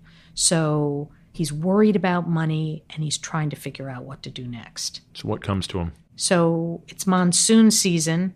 He's lying there at night, and all he can think about is all this data that he prepared on all of these world markets. And the thing that he really focuses on, which is interesting, is he knows that the AIDS drugs that the company is sending to Africa are terrible. He knows that they're not going to cure people. He knows that they are going to degrade in the heat in what are called zone four conditions. And he can't get over what he's uncovered. He just can't get over it. Do we know, looking back now, what percentage of PEPFAR's incoming drugs were coming directly from that company? They were certainly a very substantial player in PEPFAR. I mean, they were definitely supplying a lot of drugs to that program. I don't know what percentage. And it's interesting, again, bringing it back to, on the one hand, PEPFAR change the culture of generic acceptance. Did PEPFAR include anything in it that said, oh, and by the way, whatever generic drug maker that's going to sell a product directly into this program will have an even higher level of scrutiny than the FDA current authority is, given that we're going to spend, I mean, billions of taxpayer Billions. dollars Yeah. on this.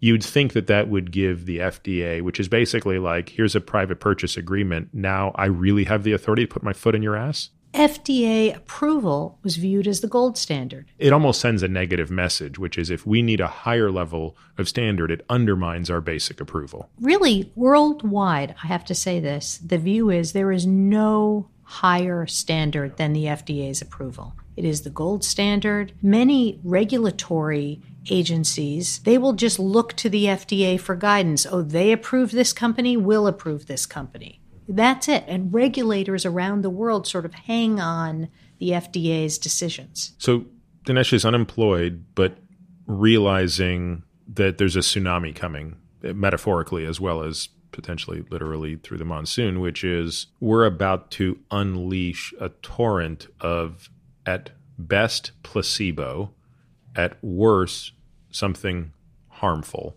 to an entire continent. Well, it wasn't even about to. It was happening. I mean, those drugs were going regularly to Africa. I mean, millions of patients around the world were getting all those drugs as he lay there and he couldn't sleep. So, what did he do? So he did something very interesting. He set up an email account and he gave himself a pseudonym. And the pseudonym he gave himself is Malvinder Singh, who was then The CEO. the CEO of the company. So Malvinder Singh was this sort of scion of the Ranbaxy family. It was his grandfather who had started the company, his father who was revered, who took it multinational, and Malvinder Singh quickly ascended to the role of CEO after Brian Tempest left. But Malvinder Singh, I mean, that was like a name familiar to every Indian household. He was a famous Yeah, it would be like Bill Gates or Yeah, Jeff Bezos in the United States. So he creates this Yahoo email account where he's Malvinder Singh, and he starts writing to regulators around the world. And he's a very educated fellow, but he writes in broken English.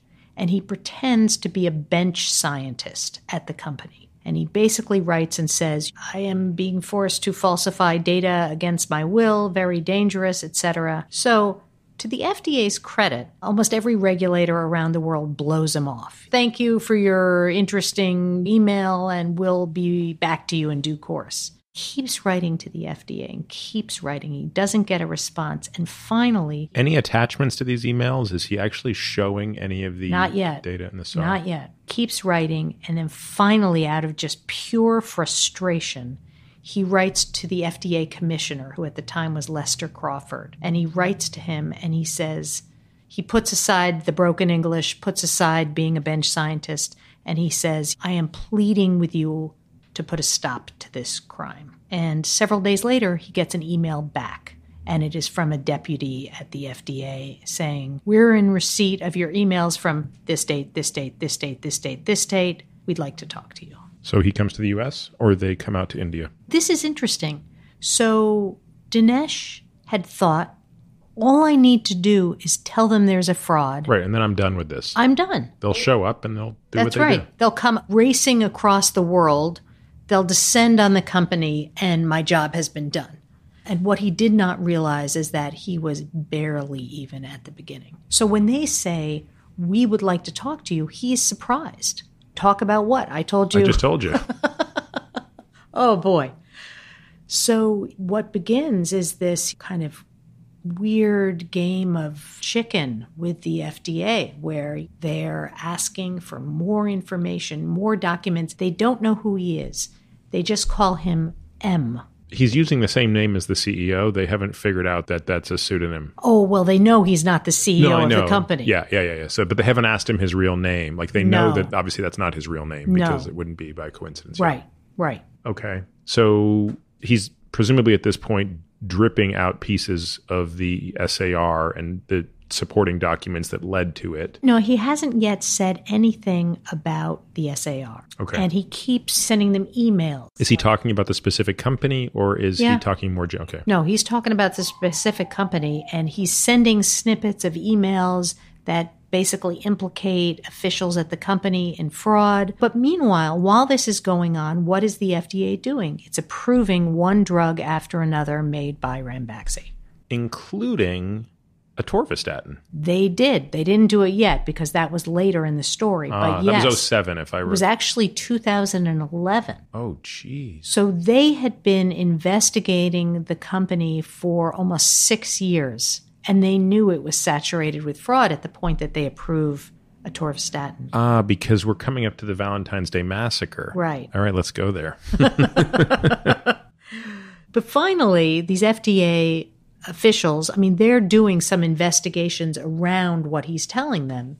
And they finally say, We understand that you have a document that basically delves into this, and we would like to see it. And at that point, he says, Well, do I need a lawyer? I mean, good question. They provide him with reassurances. He gives them the document. And as you said, so that leads to a raid on the company on February 14th of 2007. And I mean, I guess it's wise that the FDA, of course, chose to raid the U.S. plant. The headquarters, the corporate headquarters. I didn't realize the corporate headquarters was in the United States. So you're just saying the U.S. headquarters? The US yes, yeah, yeah, yeah. headquarters.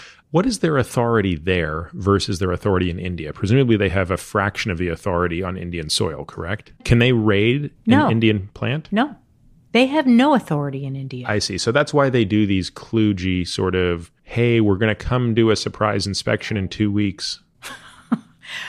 I mean, let's take a step back and think about this. So, we are completely dependent on countries manufacturing life saving drugs. We have no authority, no real legal authority on the ground. We have no U.S. attorneys in India. I mean, we can't serve a search warrant. But hang on a second. This seems kind of crazy to me, given that, let's use the TSA as an example. Okay. So we have complete authority on U.S. soil who gets on and off a plane.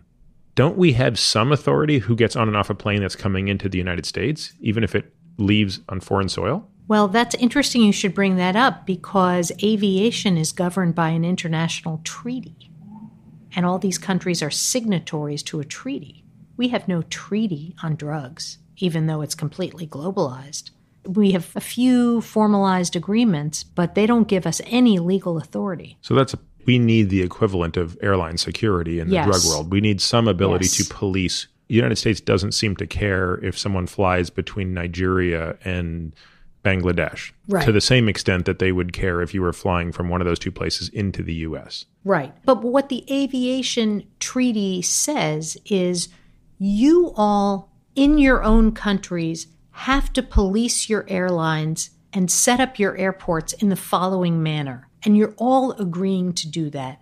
And if you don't do that, you can't enter our airspace, Right. is what it says. Yeah. And so that's obviously missing here. And so, to your point, the FDA had no choice other than to raid the US headquarters. Right. That was the most they could do. Right. But I mean, on the other hand, it does make sense that they go and raid those headquarters because that is where they're sort of launching all their drug applications into, Into the, the US FDA, yep. market. So, what did they find during that raid? Oh man. So they find, for example, we should talk a little bit about Sotret. So Sotret is the generic version of Accutane, which is a drug that targets adolescent acne largely. But it is such a dangerous drug, leads to miscarriages, suicidal ideation, that the FDA gives it a black box warning. Ranbaxy was the first to launch generic Accutane in the US market, but they knew that the drug was completely defective. It didn't dissolve properly, the dissolution was messed up. They had an internal document that basically says, We know this drug is failing, we're marketing it anyway. And the cover page on this document said in big letters, do not share with FDA. Wasn't that the actual name of the document as well? Like that was the file name or something. Like so FDA agents. Okay, so just go into the search engine and just search for keywords do not share FDA. Just see what comes up. So, I mean, they get that document, they get the SAR. The amount of documents they get is so huge and so incriminating. And it's on the basis of that that the investigation is fully launched. But again, this is 2007. Right. Okay. As you alluded to, it will be many years before this story comes to its natural, ugly, deadly, whatever ending. What is actually happening from 2007 to 2013 or whenever this thing finally resolves? Like, what does an FDA investigation mean when you have that much evidence? Like, this isn't the way we invest crimes. Like, this guy got a house full of dead bodies. Well, I mean, okay, I understand the neighbors think it smells a little bit funky, and every time someone comes over for dinner, nobody ever leaves, blah, blah, blah, blah. But now you went over to the house and you found the bodies, right? So, what are the next steps when you have this much proof? And I'm sorry, does this involve the Department of Justice at this point? Yeah. So, the FDA, they can't subpoena anybody. They have no subpoena authority. They have no subpoena authority. So, for any case they want to make, they need a U.S. attorney. So, they involve the U.S. Attorney's Office in Maryland. And basically, the whole case just grinds down into slow motion. They're trying to interview witnesses. Ranbaxy moves people to India, so they're sort of out of so they're subpoena free. Right, so they're subpoena free.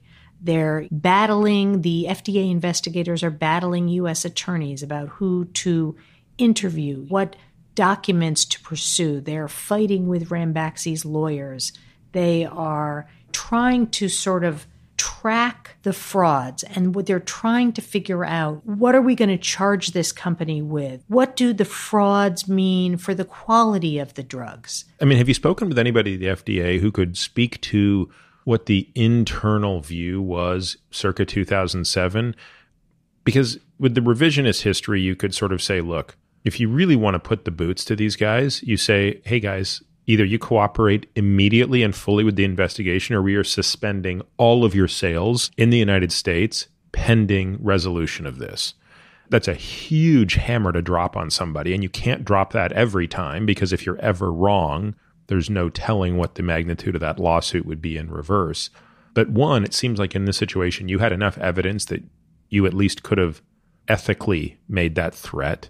Clearly, they didn't have the legal chops to make that threat, or did they? If they're the FDA, don't they have the singular authority to suspend a drug by a company? They didn't need the Department of Justice or Congress to say, yep, you guys are cool telling these guys no more drugs sold in the United States, or by the way, through PEPFAR while we're at it, using taxpayer dollars until you fully comply with this and our investigation is complete. Like I, I'm still struggling to understand the heel dragging. Was it are they back in 2003 India where the naivete is this can't be nearly as bad as it looks? Well, so first of all, in terms of what was going on inside the FDA, FDA investigators were trying to figure out sort of each permutation of the fraud. So, wow, they're doing all of their stability testing for six, nine, 18 months all on the same day. So that's one revelation. Wow, everybody in the company appears to be in on this. That's another revelation.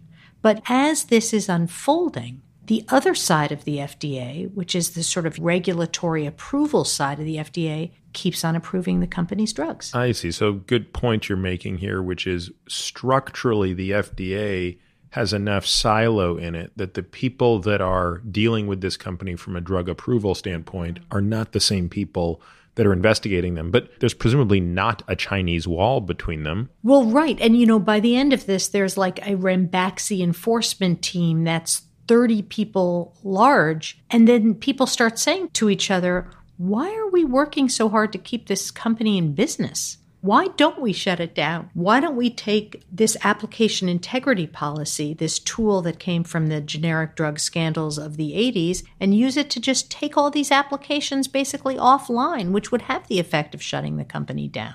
Why aren't we doing that? And it's weird because I got the book is based on 20,000 internal FDA documents, among many other interviews. I was sifting, I have all the email records from inside the FDA about this company. Do these through a Freedom of Information Act? Or no. free to- well, first of all, I mean, anybody who's reported on the FDA will tell you you file a Freedom of Information request, and you can, if you're lucky, expect to get a couple of documents two years later. So I filed 16 Freedom of Information requests for this book. I even sued the FDA. I hired a lawyer to try to get some documents through the FOIA mechanism, but the bulk of the documentation was coming through sources who were leaking documents to me. Wow. Yeah. I didn't realize the FOIA would be that inefficient within the FDA. It is not effective. It is, let's put it this way if you really want to get information, I mean, almost none of the information that the book is based on I would have ever gotten through FOIA. I'll keep that in mind. So the next time I'm choosing between a root canal and something equally painful, FOIA the FDA. I had no idea, actually. Okay, so I just, I just want, I'm sorry to interrupt you. Just keep going. This this story tells itself. Yeah. So then it comes to this point where Ranbaxy had the first to file for the biggest generic drug launch in history, which was generic Lipitor. And there you have the FDA bureaucrats sort of parsing the details from their application and saying, well, is there fraud in this application? There's fraud in every other application, but do we know that there's fraud in this one? Ultimately, they didn't find direct evidence of fraud in that application. But based on what? Did they inspect a single Indian plant?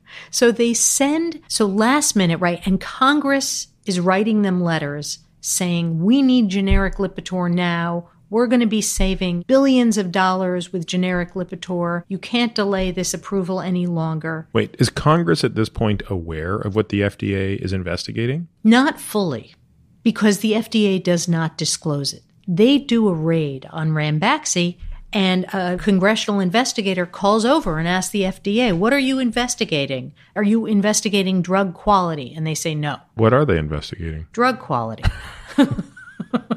Culturally, why is the FDA hiding their good investigative work from Congress? Wouldn't it give them more breathing room? I mean, Congress is breathing down their back. And look, if you put yourself in the shoes of Congress, they're doing the right thing. They're trying to protect the American taxpayer. They don't have the window of visibility into the safety issues. They are looking at this purely, they're naive enough to believe, as we all are prior to your work, that atorvastatin is Lipitor, except it costs a fraction of what Lipitor costs. So every day this drug's not approved, the US taxpayer is on the hook for X more dollars. FDA, come on, guys, get it going. And the FDA is somehow doing good work but being sheepish about it. It's almost like if you didn't know better, you'd think there was a second conspiracy theory here, which is that this is not incompetence, but rather political pressure, for example, would be one thing that jumps to your mind, right? I mean, this is, in many ways, the story of Ranbaxy is a cultural damnation of India. If we're just going to be blunt and yeah. create a whole bunch of enemies, and everyone on Twitter is going to light you and me up for saying that. But there's no way around it. This is a cultural damnation of an enormous nation. And I will say the book launched about three weeks ago in India, and boy, has it, uh, yeah. I mean, I have been under fire. And this is funny. All of my workings with people in India, which is, there's only one time in my life I've really had a lot of interaction with people in India, which is when I worked at a company, a global company called McKinsey and Company. And we had a huge presence in India and we had a huge, especially from a technical sort of analytics standpoint, we had so much of our horsepower in India. So, in other words, I want to be careful that I don't misrepresent that I know a anything about India other than my own direct experience, which is these people that were coming out of the IITs, the Indian Institutes of Technology, which is like I don't know, they've got like an MIT in every state, basically. These IITs. These guys were unbelievable. Like I have nothing but great things to say about all of these people I worked with through McKinsey who were, again, by and large, graduates of the IITs, mathematicians, statisticians, computer scientists primarily. I mean, they were exceptional people, which tells you that the problem is not the people per se, but something within the hierarchy of companies that somehow slowly can corrupt a subset of people? I mean, like, what do you think is actually at the root cause of this? I know I'm taking us a little bit off the story, but it's we've sort of been dancing around this issue a little bit, and it I don't know how to reconcile these two things, which is there's an amazing system of education in India that produces amazingly bright people who are incredibly hardworking, and yet there's a systemic problem, at least with respect to one industry, which then makes you wonder, well is petroleum going to be any better? Is textile any better? If you go through all of the other industries, maybe the stakes aren't as high. I don't know, but what reason do we have to believe that this isn't a broader issue than one company? I had done a big magazine article on Ranbaxy before I launched into the book. And that ran in May of 2013. And we got all these comments in from readers. And I remember one of the comments was talking about a word I'd never heard before, which is jugaad. I'm like, what is that? Spell that? J U G A A D. It's a Hindi word. So, in some contexts, it has positive connotations, which is jugaad is a sort of spirit of creativity that allows you to overcome obstacles. Okay. So that can be incredibly positive in India, where average daily life is so difficult and the systems are so onerous. The legal systems, anything, getting a driver's license, navigating contracts, I mean, that's all extremely challenging. But Jugaad has a very dark connotation, which means it's basically eliminating all obstacles and getting to the desired goal by the By any shortest means necessary. by any means necessary. And Jugaad, as I came to learn, is something that is really prized in Indian companies. And it's a kind of the rules don't matter, the regulations don't matter. What matters is the goal. And Ranbaxy was a company that told its employees what mattered because they had posters hanging on the wall which talked about this $15 billion goal for, I think, 2015. Basically, it was a financial goal that mattered. And that sort of began to explain why this company behaved the way it did. And frankly, as I began to report and expose that Ranbaxy really was not an outlier in the Indian generic industry, that in a number of companies, I don't know to the degree of Ranbaxy, but this is how you did business. Now, again, I, before we get back to the story, I think this thread is worth pulling on a little bit more. We in the United States are not strangers to unbelievable fraud. And we think of WorldCom and Exxon and Theranos and all of these companies that are just complete and total frauds. And so one could argue it's no different. This just happens to be an example in an industry where the consequences were greater. The consequences of Enron's fraud were Californians got screwed out of some electricity and a bunch of shareholders lost money. And both of those things suck, but it's not as viscerally upsetting as people taking bad drugs. So, do you think that it is the case that there is just as much fraud here in the United States, but the denominator is so much larger that it's sort of dwarfed? Do you think it's that, well, culturally we're all the same, and the difference is in the United States or in the West, the regulations simply do not permit. You couldn't get away with what they're doing. And this is not a condemnation of Indian people or Indian culture. It's a condemnation of a regulatory environment that, as you said, minors in the major and majors in the minor, which is to say, it takes an act of Congress to get a driver's license, but any buffoon can make a drug. it should be the other way around. Not that a buffoon should get a driver's license, but it should be easier to do things that are easier there and harder to do things that are harder there. Like so I'm giving you the book ends of it. Where do you think it lies? First of all, whenever we have these exposes of companies that are corrupt to the core, it's always shocking. I mean, it's shocking to see such a big fraud. Theranos, Enron, VW, the Volkswagen fraud with the emissions. It's always shocking. It's interesting. The examples you give are exposed within.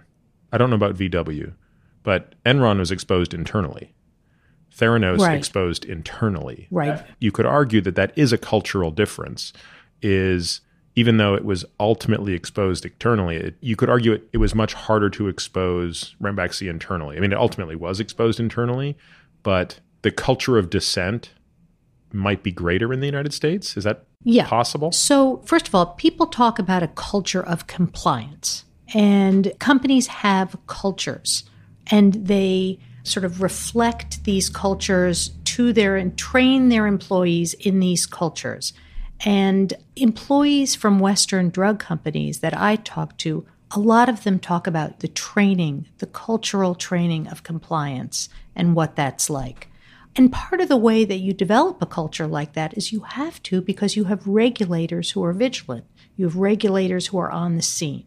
So that's really not the case in India. They're not worried about their own regulators. They can buy off their own regulators, or their regulators simply don't show up. And so you don't have the same culture of compliance. It's not something that is sort of organic to a company. And you wonder if you took Pfizer, BMS, Novartis, and moved them to India under the exact same regulatory environment, would it be a matter of years or generations, if at all, that the internal culture of manufacturing excellence would vanish? I mean, it's a Gedanken experiment, but has it been done? Is there any example of Western or European companies degrading or the reverse? Well, it's interesting you should mention this because Novartis has just found itself in the middle of quite a sizable scandal. So they just got approval for a drug called Zolgensma, which is the most expensive drug ever approved. It's the treatment is 2.1 million dollars. It's a gene therapy drug. 1 month after they got approval from the FDA, they disclosed to the FDA that there was data manipulation in some of the animal studies for that drug. And apparently they knew about it 2 months before they got approval. So right now, obviously this book has stirred up a lot of emotions in India. And one of the accusations that has been lobbed against me is, well, why don't you talk about fraud in Western companies and they're not impervious and and it's a very complicated issue. I mean, there's certainly fraud in Western drug companies and in Western companies generally. But I think the difference and the difference as it sort of filtered down to the FDA is that here was a company that seemed completely lawless where employees across the board were directed to violate regulations and they did what they were told, which would be very, very hard to have as a situation in the US where you have anybody could go run to the FDA. Whistleblowers are legally protected here. There's financial rewards for them. Yeah, I mean I think that's fundamentally the difference is systemic versus non-systemic corruption. And when you think of the most egregious examples in North America, they are systemic. They're fortunately not that many, but when they're there, so using Theranos as an example, Theranos had very few corrupt individuals, but because the corrupt individuals were at the very top of the pyramid, they could organize the exact nature of the silos to perpetuate the fraud until internally it was no longer sustainable. I don't know enough about Enron, but my recollection of the story is Andy Fastow was probably the architect of that, the CFO.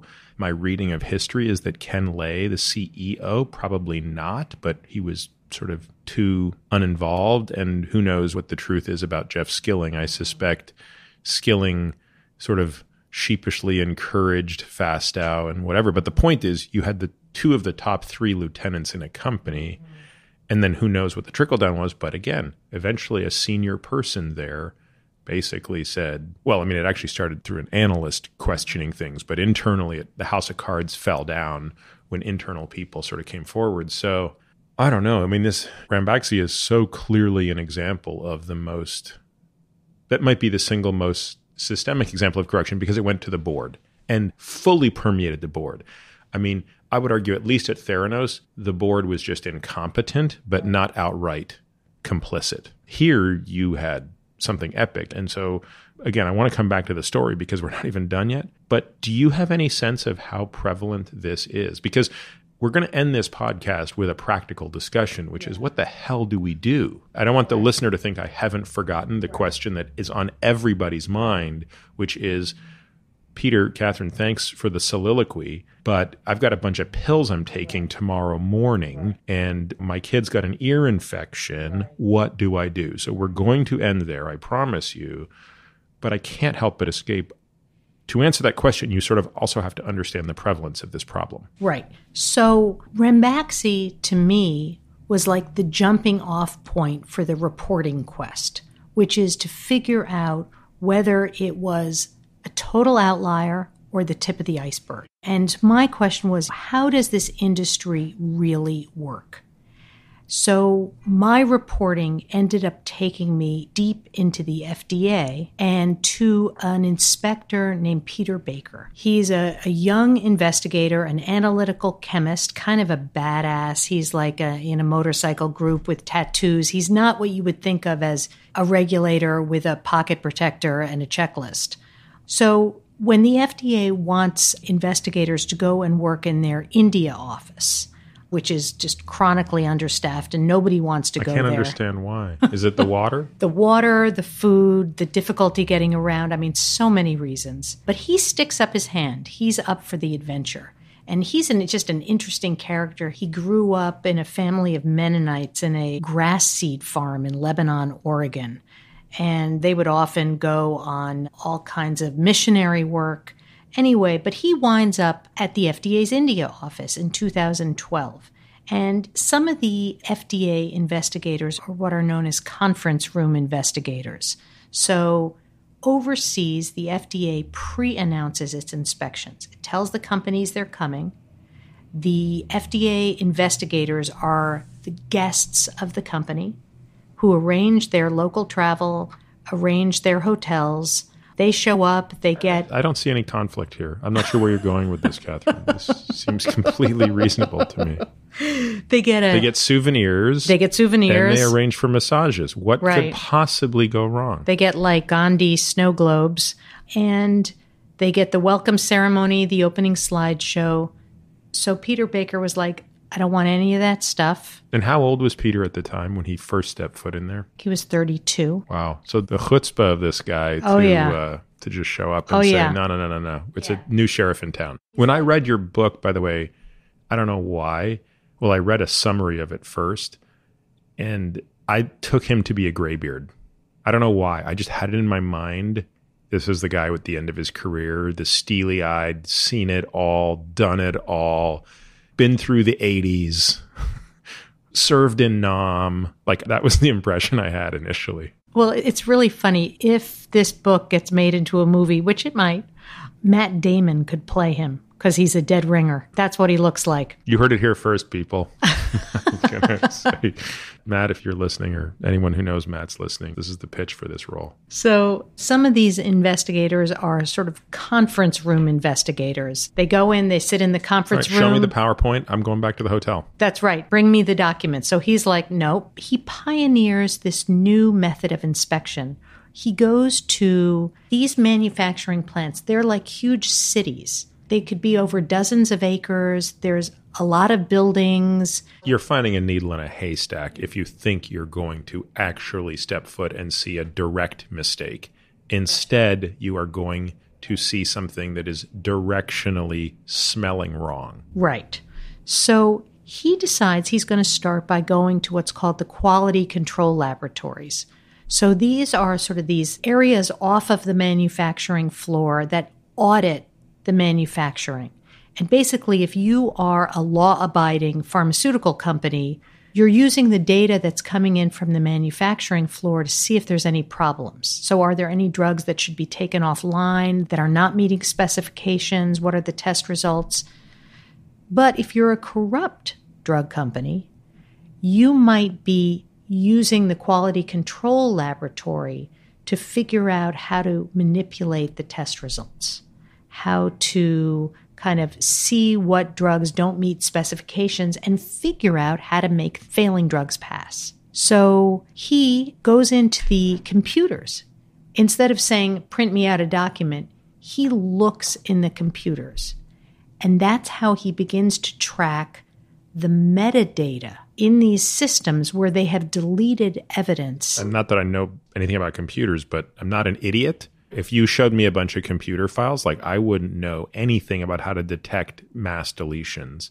Did he have some training in No, this? he had no training, but he figured it out. He figured it out because he had worked in a quality control laboratory in the branded drug sector before he became an FDA So he at least he knew what the fingerprint or signature of this right. looked like. Right. Every once in a while, do you just, you know, we talk about all the bad things that happen, but sometimes it's worth contrasting it with just the dumb luck that sometimes just comes our way. And what if Peter hadn't have been the guy to put up his hand and say, I'm going to take one for the team and go to India and, Right. and get diarrhea for a few months. And by the way, I'm competent enough to do this job. Right. Yeah, because in fact, I mean, what he found was incredibly dramatic. I mean, he inspected 86 drug plants in India and China over a course of five years, and he found some element of data fraud or manipulation in four fifths of those And plants. what's nice about the way he's looking is you can give them all the warning they want. They can put all the window dressing they want in anticipation. Even if, because I remember you wrote about how often the companies were tipped off. Sure. He'd show up on Yeah. Tuesday, but the company had been tipped off earlier. Where he's looking, they're not going to necessarily fix unless the companies start talking to each other and say, "Oh, by the way," but you know, presumably he's not disclosing where he's seeing their mistakes. Well, they did start talking to each other. So, in fact, there was like an industry wide WhatsApp chat that they had where they were talking about him and his inspection methods because he became oh, He's so he's like Lucifer to these people. he is Lucifer. He became so devastating to these companies. And just to give an example of what's at stake, the book opens with this scene. He goes in to inspect this plant run by this company, Wockhardt, and he encounters this employee who's trying to Just the smuggle guy running down the hall. to smuggle a garbage bag of documents out of the plant on his second day of the inspection. And it's a chase scene. So, if you want to know what a chase scene in a sterile drug manufacturing plant looks like, I'm picturing Matt Damon just chasing some dude down a hall with a Jason Bourne swipe kick out at the end. But well, it's actually a low speed chase beneath these it's a floor- speed. It's a speed walk. It's a speed walk beneath these fluorescent lights. And the irony is that it is sterile drug manufacturing plant. The employees are, if they're trained properly, are trained to move slowly because you don't want to disrupt the airflow. It's like a unidirectional airflow, and so all the movements are supposed to be very controlled. So if you have a chase scene in that environment, it's a low speed chase, which is how the book opens. It's a scene out of Austin Powers Yeah, it's crazy. because it's like the irony of it. It's like it's a chase, but it's really slow, and it's yeah, yeah, yeah. but he figures out where the bodies are buried in these plants. I mean, he used the torn documents in that garbage bag to reconstruct that there was a hidden area of this plant where they were manufacturing sterile injectable cardiac drug for the US. They were doing it on corroded equipment that left metallic particles in the drug. That's bad, right? That's actually not good. Yeah. That's not good. What is Peter doing today? So Peter has left the FDA and he is a consultant for a auditing company that audits manufacturing plants. You said something a moment ago that I wanted you to finish what you were saying, so I didn't interrupt, but I think it's worth calling out. 80% of the companies he audited, I want to go back to what you were saying, had some irregularity. So that's option A. Option B, were not quite at the standard of the finest Swiss, German, and US plants. Option C, were as bad as Ranbaxy? I mean, like, walk me through this. What is the implication of what Peter found? The implication of what Peter found is that fraud, and particularly data fraud, so that is manipulation of quality data to make failing products sellable, is endemic. Do we have a positive control for that? In other words, has someone done Peter's analytics on the best of the best? And is the background number on that 30%? Because, of course, at this point now, there's nobody listening to this who trusts anything that comes out of a drug company. And frankly, I don't think the brandeds are viewed that much more favorably than the generics because I think we've made the case that they're just under more scrutiny and they have deeper pockets. So you could argue, well, they might not be doing the egregious nonsense like putting glass particles into pellets or giving you sawdust or doing their work on rusted machines, but it certainly wouldn't be hard to make the case that there could be data fraud, which is exactly the stuff that Peter's autopsies and forensics uncovered. So, do we have a sense of what that background number is? So I'm actually hopefully going to be publishing something relatively soon that will put some numbers to that, but I think you could say there is really endemic fraud in Indian and Chinese manufacturing plants. And that is not to say that fraud doesn't exist in the US plants, but the kind of egregious shredding the documents, bringing in data fabrication teams, doing secret what tests. does your business card look like when that's your day job? Honey, please meet my husband, Bob. Bob, great to meet you, Bob. What do you do? Oh, I work in pharma. Oh, great. Are you a chemist? No, no, I'm, more on the data side. Oh, are you a data scientist? No, no, I'm in data fabrication. Oh, fantastic. Like, well, so this is one of the mind-blowing things that I learned is that these companies, a number of them do have data fabrication teams. They bring in teams to fix these plants and fabricate documents before the FDA comes in. You have to connect with Carol Tavris because the extent of cognitive dissonance that must exist in a person whose stated, explicit day job is data fabrication. I'm really curious about that psychology because it's basically white collar mob work. If you're a hitman in the mob, that's your job. You get paid and you got to whack people but we just don't think of that being plausible in the white collar sort of upper echelon of pharmacology. How is this any different, right? Except it's more efficient at killing. At least the mob guy can only kill like one dude at a time, right? These people have the potential to kill tens of people, thousands of people at a time they just don't get the blood on their hands. That's really the difference. There's this amazing quote. One thing I've been asked is, well, what shocked you most in reporting this? There's this anecdote in the book where this US executive at Ranbaxy becomes suspicious about the data because it's too perfect. It looks exactly like the brand data, right? yeah. She realizes that the AIDS drugs are really terrible. And on a conference call with like a dozen executives of the company, she raises this question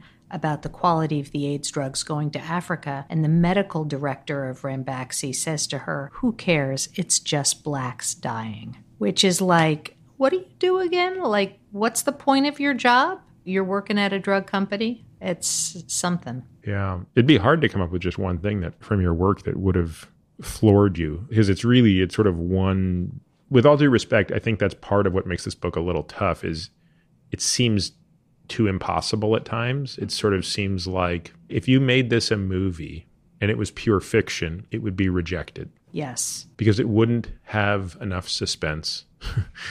it wouldn't have enough irony. It would be too over the top. With that, let's bring it back to I want to let you, I keep interrupting you, I apologize. I want to let you get back to the story of how does at least the tale of this company and Dinesh come to a close? Because there's another point we didn't mention here, which as all of this nonsense is going on, they're in play as an acquisition by a Japanese company. So, I mean, now we're perpetuating fraud on multiple levels. We are also perpetuating fraud in the context of due diligence for a mega acquisition. That acquisition by Daiichi Sankyo, which was Japan's second largest drug company, I sort of thought of it as almost like a reverse Godzilla movie where Daiichi Sankyo is coming from this, you know, very formal, polite culture. The Japanese, they come in to do their due diligence, and Malvinder Singh, the Indian executive, just rolls them. And this is not the guy with the Yahoo address. That's a right.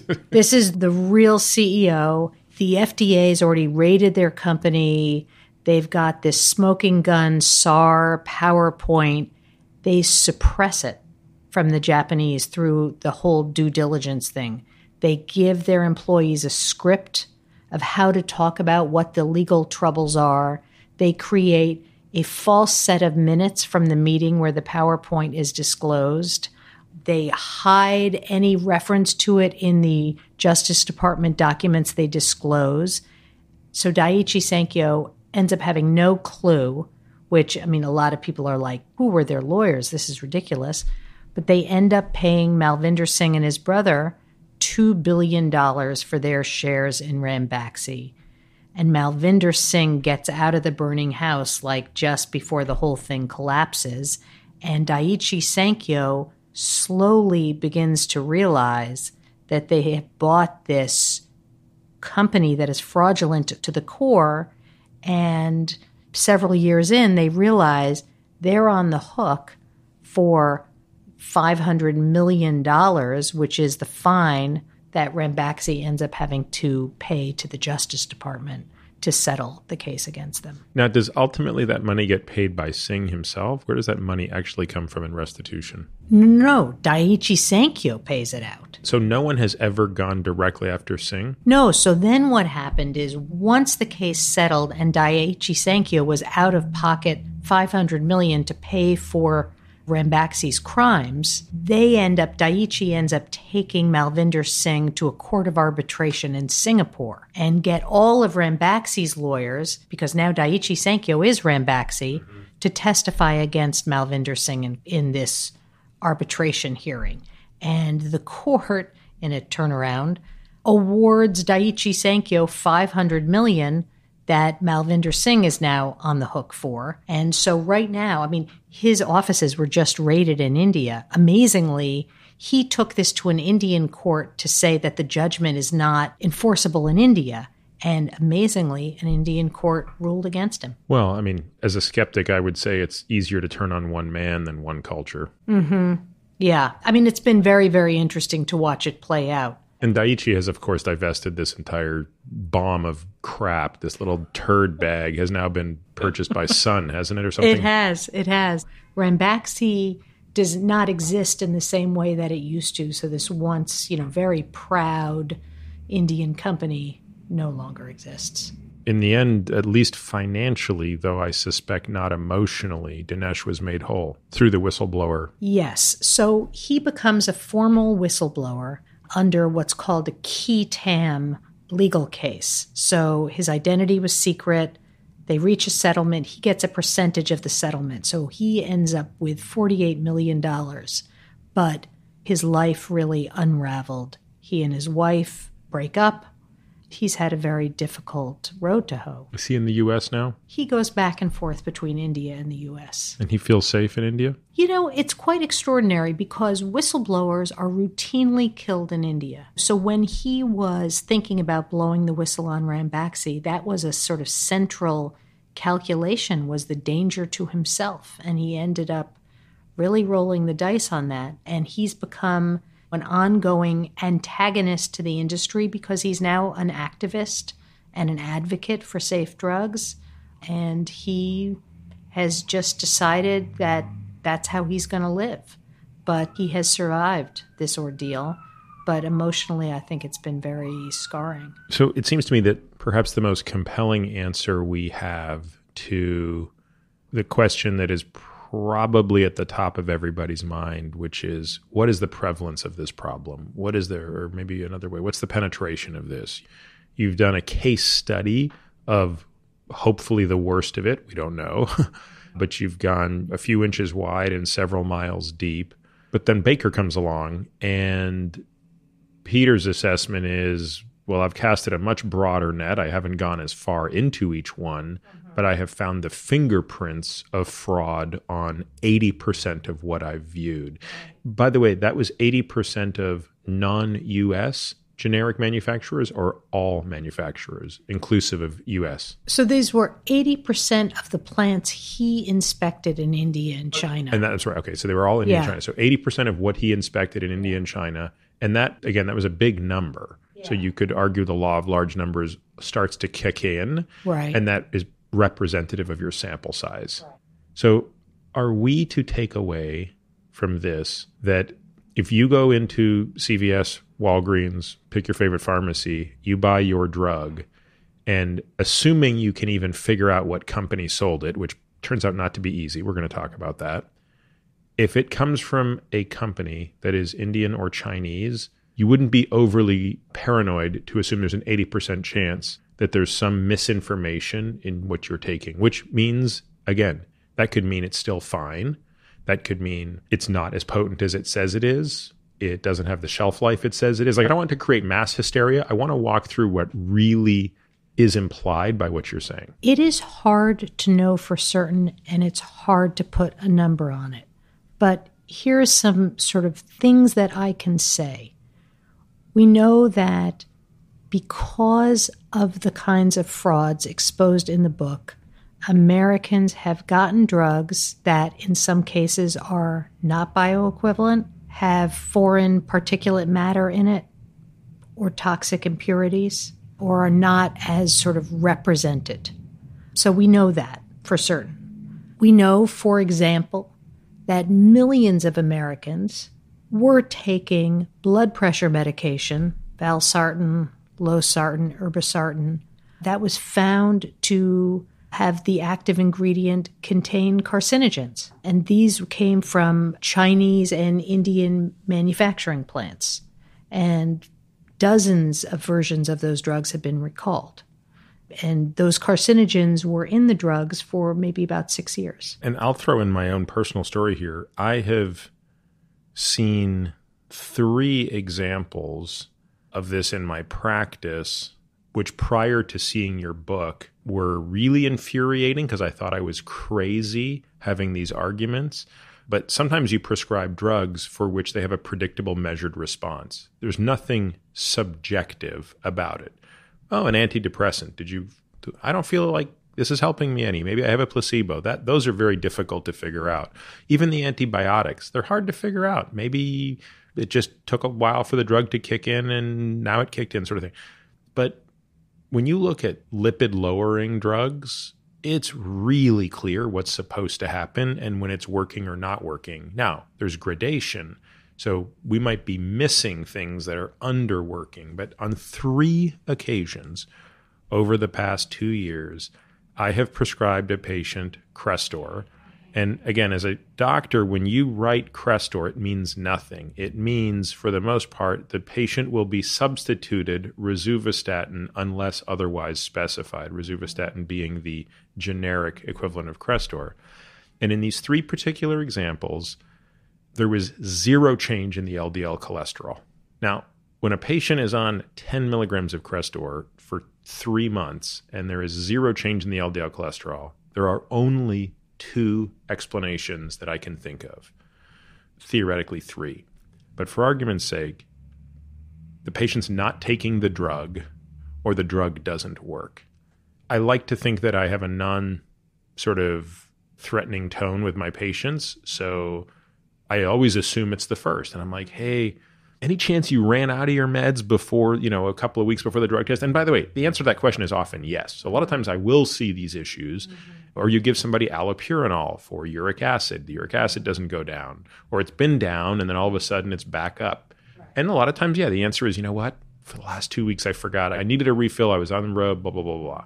But there are three occasions where that was clearly not the case. And this patient, and I just, I really I have great confidence that the patients were, in fact, taking the medication, not a budge. And after the second one, I said, I asked my staff to kind of dig in a little bit, and I said, was the patient actually getting Crestor or were they getting a generic equivalent? And one thing led to another. And basically, in those situations, because it was too difficult to get the patient back on branded, you just switched to atorvastatin, which I now realize you're just rolling the dice going from one piece of BS to another piece of BS.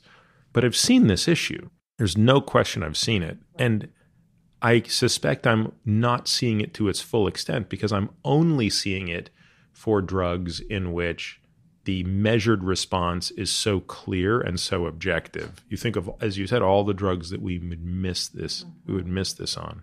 So, what I'm discussing as an example pales in comparison to the myriad problems that could exist the contaminants, the partial efficacy, the time release drug that is not a time release drug and therefore is delivering too high a dose in a shorter period of time.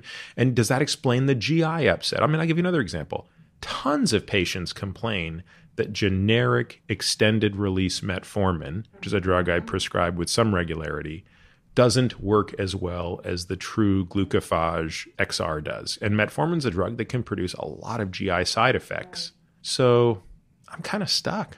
The book describes, for example, these two doctors at the Cleveland Clinic who began to piece together that some of their patients who, and so these are cardiac drugs, were stabilized on the brand and then became unstable when they were switched to the generic. And in some cases, heart transplant patients were suffering organ rejection from a generic tacrolimus. Yeah, yeah, the tacrolimus. I think for doctors, once they become aware of this as a kind of category of thought, as a possibility, some of them begin to diagnose the drug supply, not just their patients. Well, so we're in the process of doing something that's going to take a while, but after reading your book, I sent a long apologizing email to three people on my staff who were going to be the ones to take one for the team on this, which was we're going to go through every drug we prescribe. And luckily, that's a very small list for our practice because we don't have many patients and we really narrow the focus of the type of stuff we're working on. I mean, we're not the ones out there writing antibiotics and stuff routinely but that's still a list of probably 30 drugs. For every one of those drugs, I need to know every single generic manufacturer. And then we need to do the full colonoscopy on everyone according to publicly available information. Have there been any filings against these companies? Just do a quick Google search news or Google this name, FDA, blah, blah, blah, blah, blah. Kind of go through that exercise. And I think this will take us three months to do. That's how mm-hmm. miserable an exercise it's going to be. But what I hope emerges from this is a probabilistic heat map that basically says going forward, again, I don't think we can ever ensure with certainty, even with the branded drugs, but the goal here is probabilistic. It's increase the odds in your favor. Mm-hmm. That if you need rosuvastatin, atorvastatin, pick your favorite generic anything, hydrochlorothiazide, which one are you absolutely not touching? Where do we preferentially do it? Anything else you would recommend that I do as a physician or a patient do as they navigate this? So, on my website, because I mean, let me just say, since the book came out, I have been flooded with emails from patients who want to know are their drugs safe? Where were they manufactured? By the way, just the thought of that is to me personally like I can't imagine a bigger torture. Anyone, people listening to this know how much I hate email. I, I, waste no opportunity to talk about how much I hate email. The only thing that I could hate more than email it would be getting a thousand emails a day asking me to to dig up the answer to a question like that. They're the only ones sending you that email. Oh yeah, right? I mean it's impossible. I am inundated. But I also feel there's an obligation, but you need to you, you yes, need a system to solve this. Exactly, you're not going to right. you're not personally going to be the one that gives them the answer to their question. Right. So what I created on my website is a guide to investigating your own drugs, which is basically like, okay, what are patients going to do? Now, we need new laws. I mean, you shouldn't have to be Sherlock Holmes for your own drugs, but Basically, it leads them step by step. Figure out who manufactured your drug. Is that readily available on the front of the bottle? It should be. Because you don't often get the actual bottle from the manufacturer. You're almost always getting a bottle that's a plain, you know, whatever yellow or green bottle that has a sticker on it that the pharmacy puts on. Does that sticker usually contain the generic so company's it, name? It varies from state to state. I mean, there are different disclosing requirements, and it should. But I mean, if you're not getting that information on a dispensing label, you need to ask your pharmacist who's the manufacturer. And when I go to a pharmacy, or actually before I even go and pick up a prescription, I ask who's the manufacturer, who else makes it. I mean, I switch all the time from one Is generic the pharmacy to another. willing to do this without your physician's intervention? Yes, because I go to an independent pharmacy. But I think, you know, if you're in Express Scripts, if you're CVS, I think it's harder. I think for the big chain pharmacies, it's harder. Yeah, the PBMs, I contemplated in the last couple of days whether I wanted to go down the PBM rabbit hole with you. And I hope you'll be okay with the fact that I have decided not to. That's fine. I think it's too big a topic. Mm-hmm.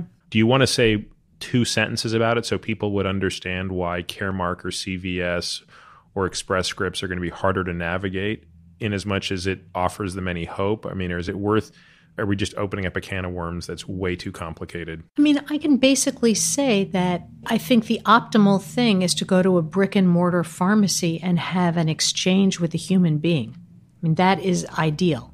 I mean, pharmacists, some don't really know about this issue, but some know a lot. I mean, I've gotten a lot of mail from pharmacists saying, like, I've been hearing this for years from my patients. That this drug didn't work or that. I mean, you can have a dialogue with your pharmacist about it, okay? Is, is GoodRx the app on your site? Do you let patients know about that? No, I don't even know about it. So it. GoodRx is a really, really brilliant app that allows you to at least price compare them. And that is a way that you can, if you decide you want to go down this route of being brick and mortar, you can basically price shop. And it's really interesting. Like if I didn't have my phone on airplane mode right now and wasn't worried about it buzzing nonstop, I'd turn it on and show you. You sitting right here right now, I would just type in atorvastatin. It would say select your dose, 10 milligrams use current location, right? It's got the GPS. I can tell it the zip code, and it will, in a radius of ascending order, tell me the price for 30 10 milligram atorvastatins cash pay by pharmacy. And you'd like to think they're all the same, aren't they? Not even close. So then you couple that with your analysis, and you at least can get into the situation where you walk in and you could know your maximum out of pocket. And by the way, there's still a good chance your insurance company will cover it because typically the insurance company is just differentiating between the generic and the branded. They're not going to, at least until you tell me different, I assume they're not going to fiddle between two different generics if you specify one versus the other, are they? Right, but the problem with the price is that often the drugstore chains will be dispensing the lowest cost generics, which may be the worst manufacturers in India. Do drugstores typically carry more than one generic? Well, they often can order one generic or another one from their wholesalers because they're ordering from, you know, Cardinal and AmerisourceBergen and McKesson. I mean, I have a feeling I know how this is going to work for our patients. What I suspect we will end up doing is partnering with one brick and mortar pharmacy and saying, we will make you our exclusive partner on this. And in exchange for it, you will do exactly what the F we say, which means you are absolutely under no circumstance selling us anything other than XYZ, do, do, do, do, do, do, do, do, do, do. And we will never think about this again. And all of our patients will mail order from that pharmacy directly to them. But that's, I don't know that doctors will have the time to do that. Or, I mean, I don't know. This is, you hit the nail on the head, which is on some layer, the patients need to put pressure on the payers, which is both the insurance company indirectly through the PBM and Medicare. And because patients, I don't think individually or even frankly collectively outside of this have the ability to pressure the FDA and or the drug manufacturers but the payers certainly can. I mean, if the payers decide we are not reimbursing you wholesale as a company until you get your act together, well, that should be a sign to fix things, right? Well, let's take this one step further. Imagine if there was a pharmacy chain that said, you know what? We're going to test every drug that we dispense. Not every pill. Right, but do a random sampling. Do a random sampling, which is what should be happening, by But the way. outside of like, could any of them afford to do this, or would they do this? Unless there was a big enough error that and a big enough issue that this could become a differentiating sales factor. Well, okay, so there's this small pharmacy called Valisure, and that's what they do. That's their business model. Where are they based? So they're based in New Haven, Connecticut, and that is their business model, which is that they test every drug How do you spell that? V A L I S U R E. And presumably they can sell across state lines. They're a mail order pharmacy. They're a mail order pharmacy. They're a So mail not- order pharmacy. Yeah. Got it. So here's something very interesting, which is with the recall of these blood pressure medications that were found to have this carcinogen and NDMA, which is actually created in the production of liquid rocket fuel, and that is bad for you. Which makes you wonder what on earth were these doing? Anyway, I'm sure there's some reasonable reason why these things could have been in. Well, one of the questions that the FDA has been investigating is whether they were reusing solvents. Ah, yeah, that would make sense. Anyway, so the FDA detected three different carcinogens in these drugs. Valisure, through their testing, identified a fourth. That is not very reassuring. I mean, it's great that they found one, but like, why didn't the FDA find this? And why didn't the FDA find it? How does Valisure afford to do this? Are they that large a mail order pharmacy? Well, right now they've got funding. I mean, they're a startup. Oh, I see. Okay, got it. So this is all baked into the business model. the business plan. What's interesting about this, just to go take a small tangent, the FDA does these pre announced inspections overseas. And their inspector went to one of these plants in China This, uh, I can't remember, it's Zhejiang Huahai plant. And the investigator found that the company was not investigating impurity spikes in its own drugs as required. So the inspector recommended that this plant be sanctioned as official action indicated, like the most serious, which would have forced them to take action. Back in Maryland, FDA officials said, eh, it's okay, voluntary action indicated, not such a big deal.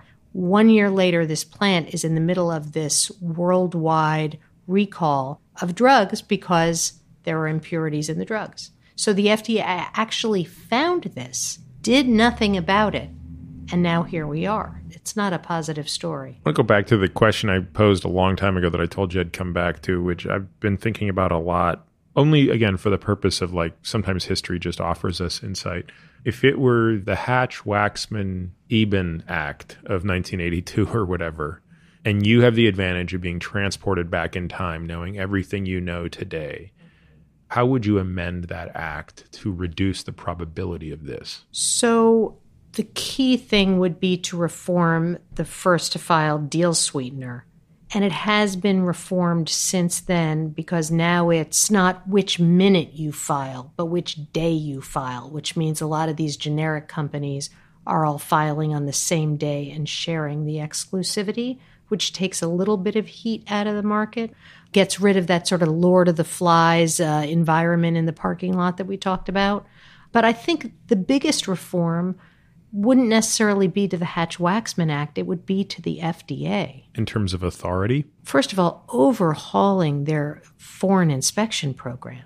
I mean, my God, a pre announced inspection? Does that solve anything for anybody? except for the drug companies. Why give a plant eight weeks advance notice that you're coming and then ask them to plan the trip for you? I mean, you could argue that Peter Baker found a way around it.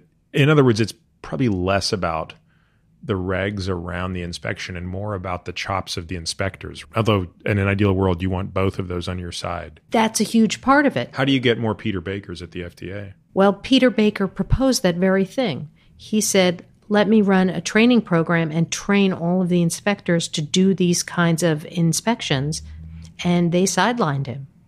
I mean, he was basically taken off of inspections and he left. He left the FDA. He's no longer there. He was passionate about what he did.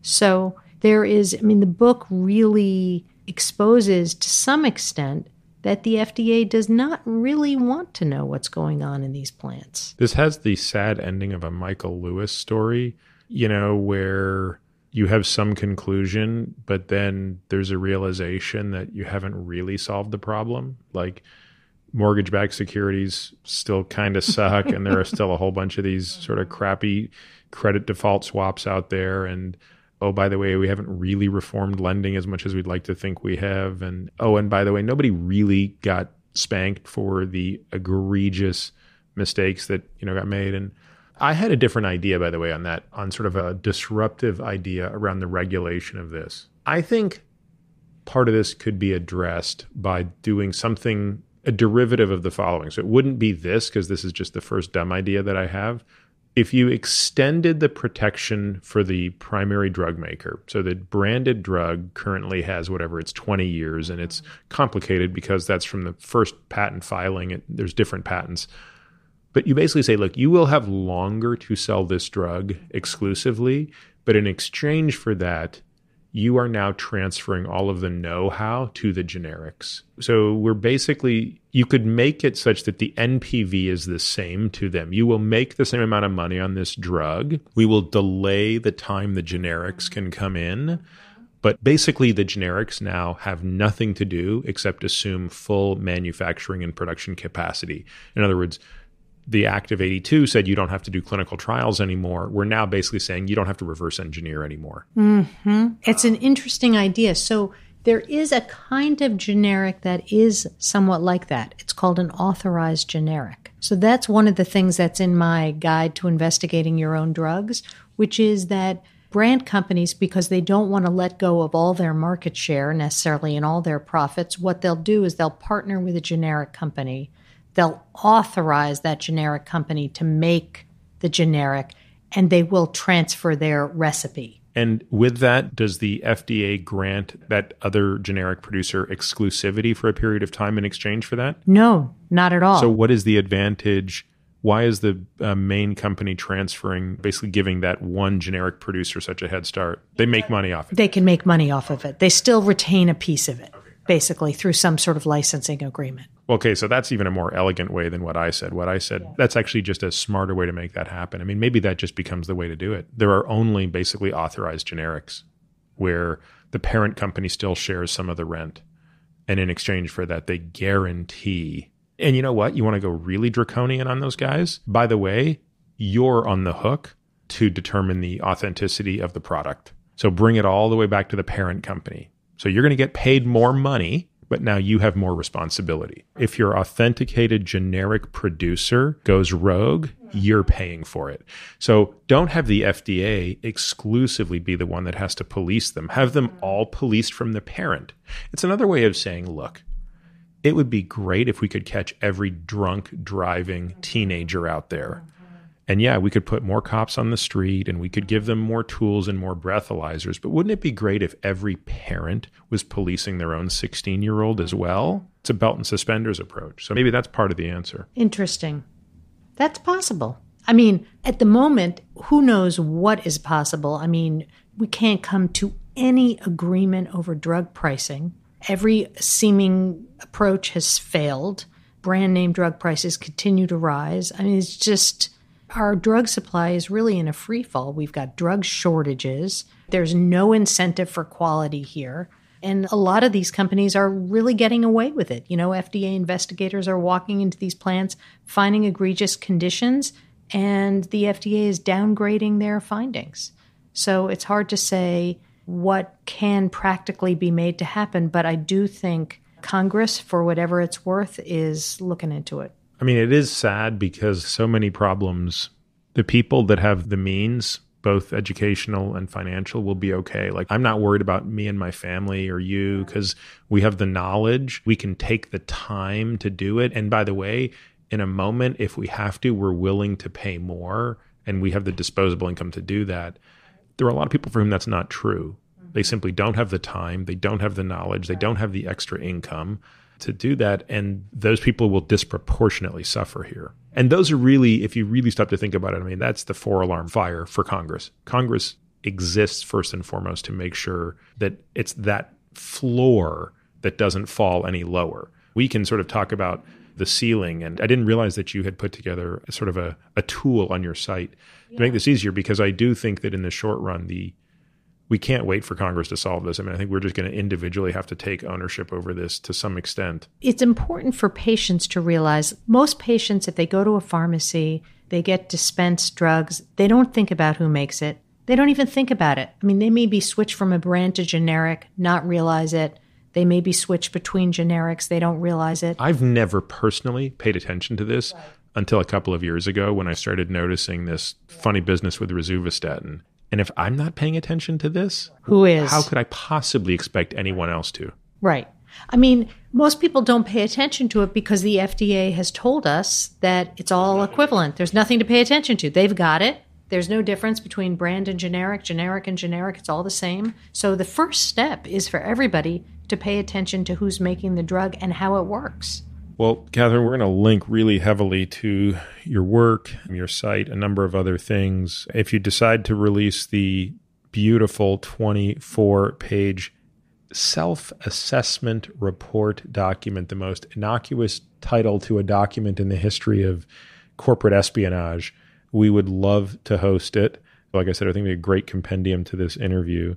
Is there anything I didn't ask you that you've wanted to talk about? I, we joked about this off mic at the beginning. You know, I said to you when you walked in, I said, don't worry, this is not a 20 minute interview with sound bites and stuff. We can talk about this stuff in as much detail as you want, but I, I want to be sure we've talked about everything you wanted to talk about and we didn't leave anything on the table. Know, I think we've basically covered it, but just sort of my closing thought is that generics are supposed to be this great leveler you know, it's like the democratization of drugs that, like, the rich and the poor alike can have access to these great cures. And to find out, I think that the companies sort of cashing in on that image are really selling that short in a very devious way is painful to realize. It's a real sort of great hope, public health hope, that has a very dark underbelly.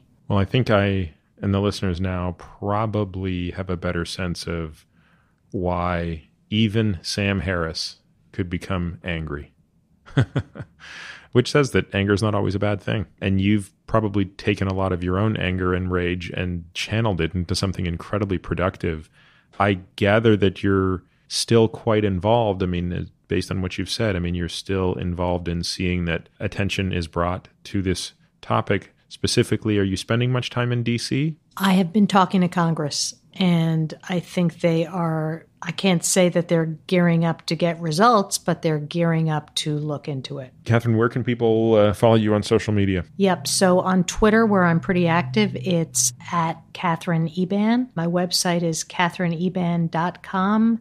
LinkedIn, I think, is Katherine Eban. So I see a theme here. I don't know what it is, but I see a pattern. And I will say that my 12 year old is my Instagram page manager. So you'll have to bear with me there. Hello, Kitty. By the way, that makes me want Olivia, my daughter, to manage my Instagram. Yeah, page. it's the way to go. I'm telling you. I would take so much time off my hands. Absolutely. Katherine, it's been an absolute pleasure. I thank you first for taking the time to come here. I can only imagine how mind numbing it must feel to talk about the same thing over and over again with yet another stupid person interviewing you. I hope this wasn't that painful. But more broadly, thank you for this incredible work you've done and the public good that I believe will come from it in the long run. Thank you so much. And it was not at all tedious, it was super fun. Awesome. And you got to go through a few Topo Chicos. So thank you. You can find all of this information and more at peterattiamd.com forward slash podcast. There you'll find the show notes, readings, and links related to this episode.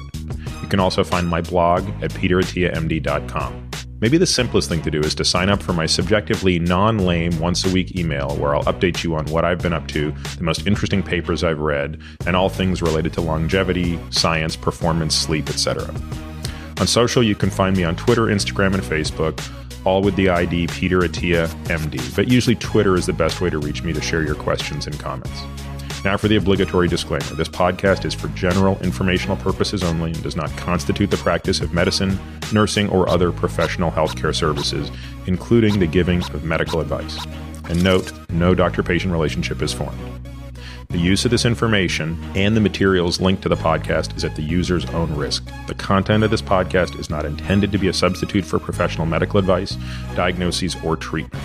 Users should not disregard or delay in obtaining medical advice for any medical condition they have and should seek the assistance of their healthcare professionals for any such conditions.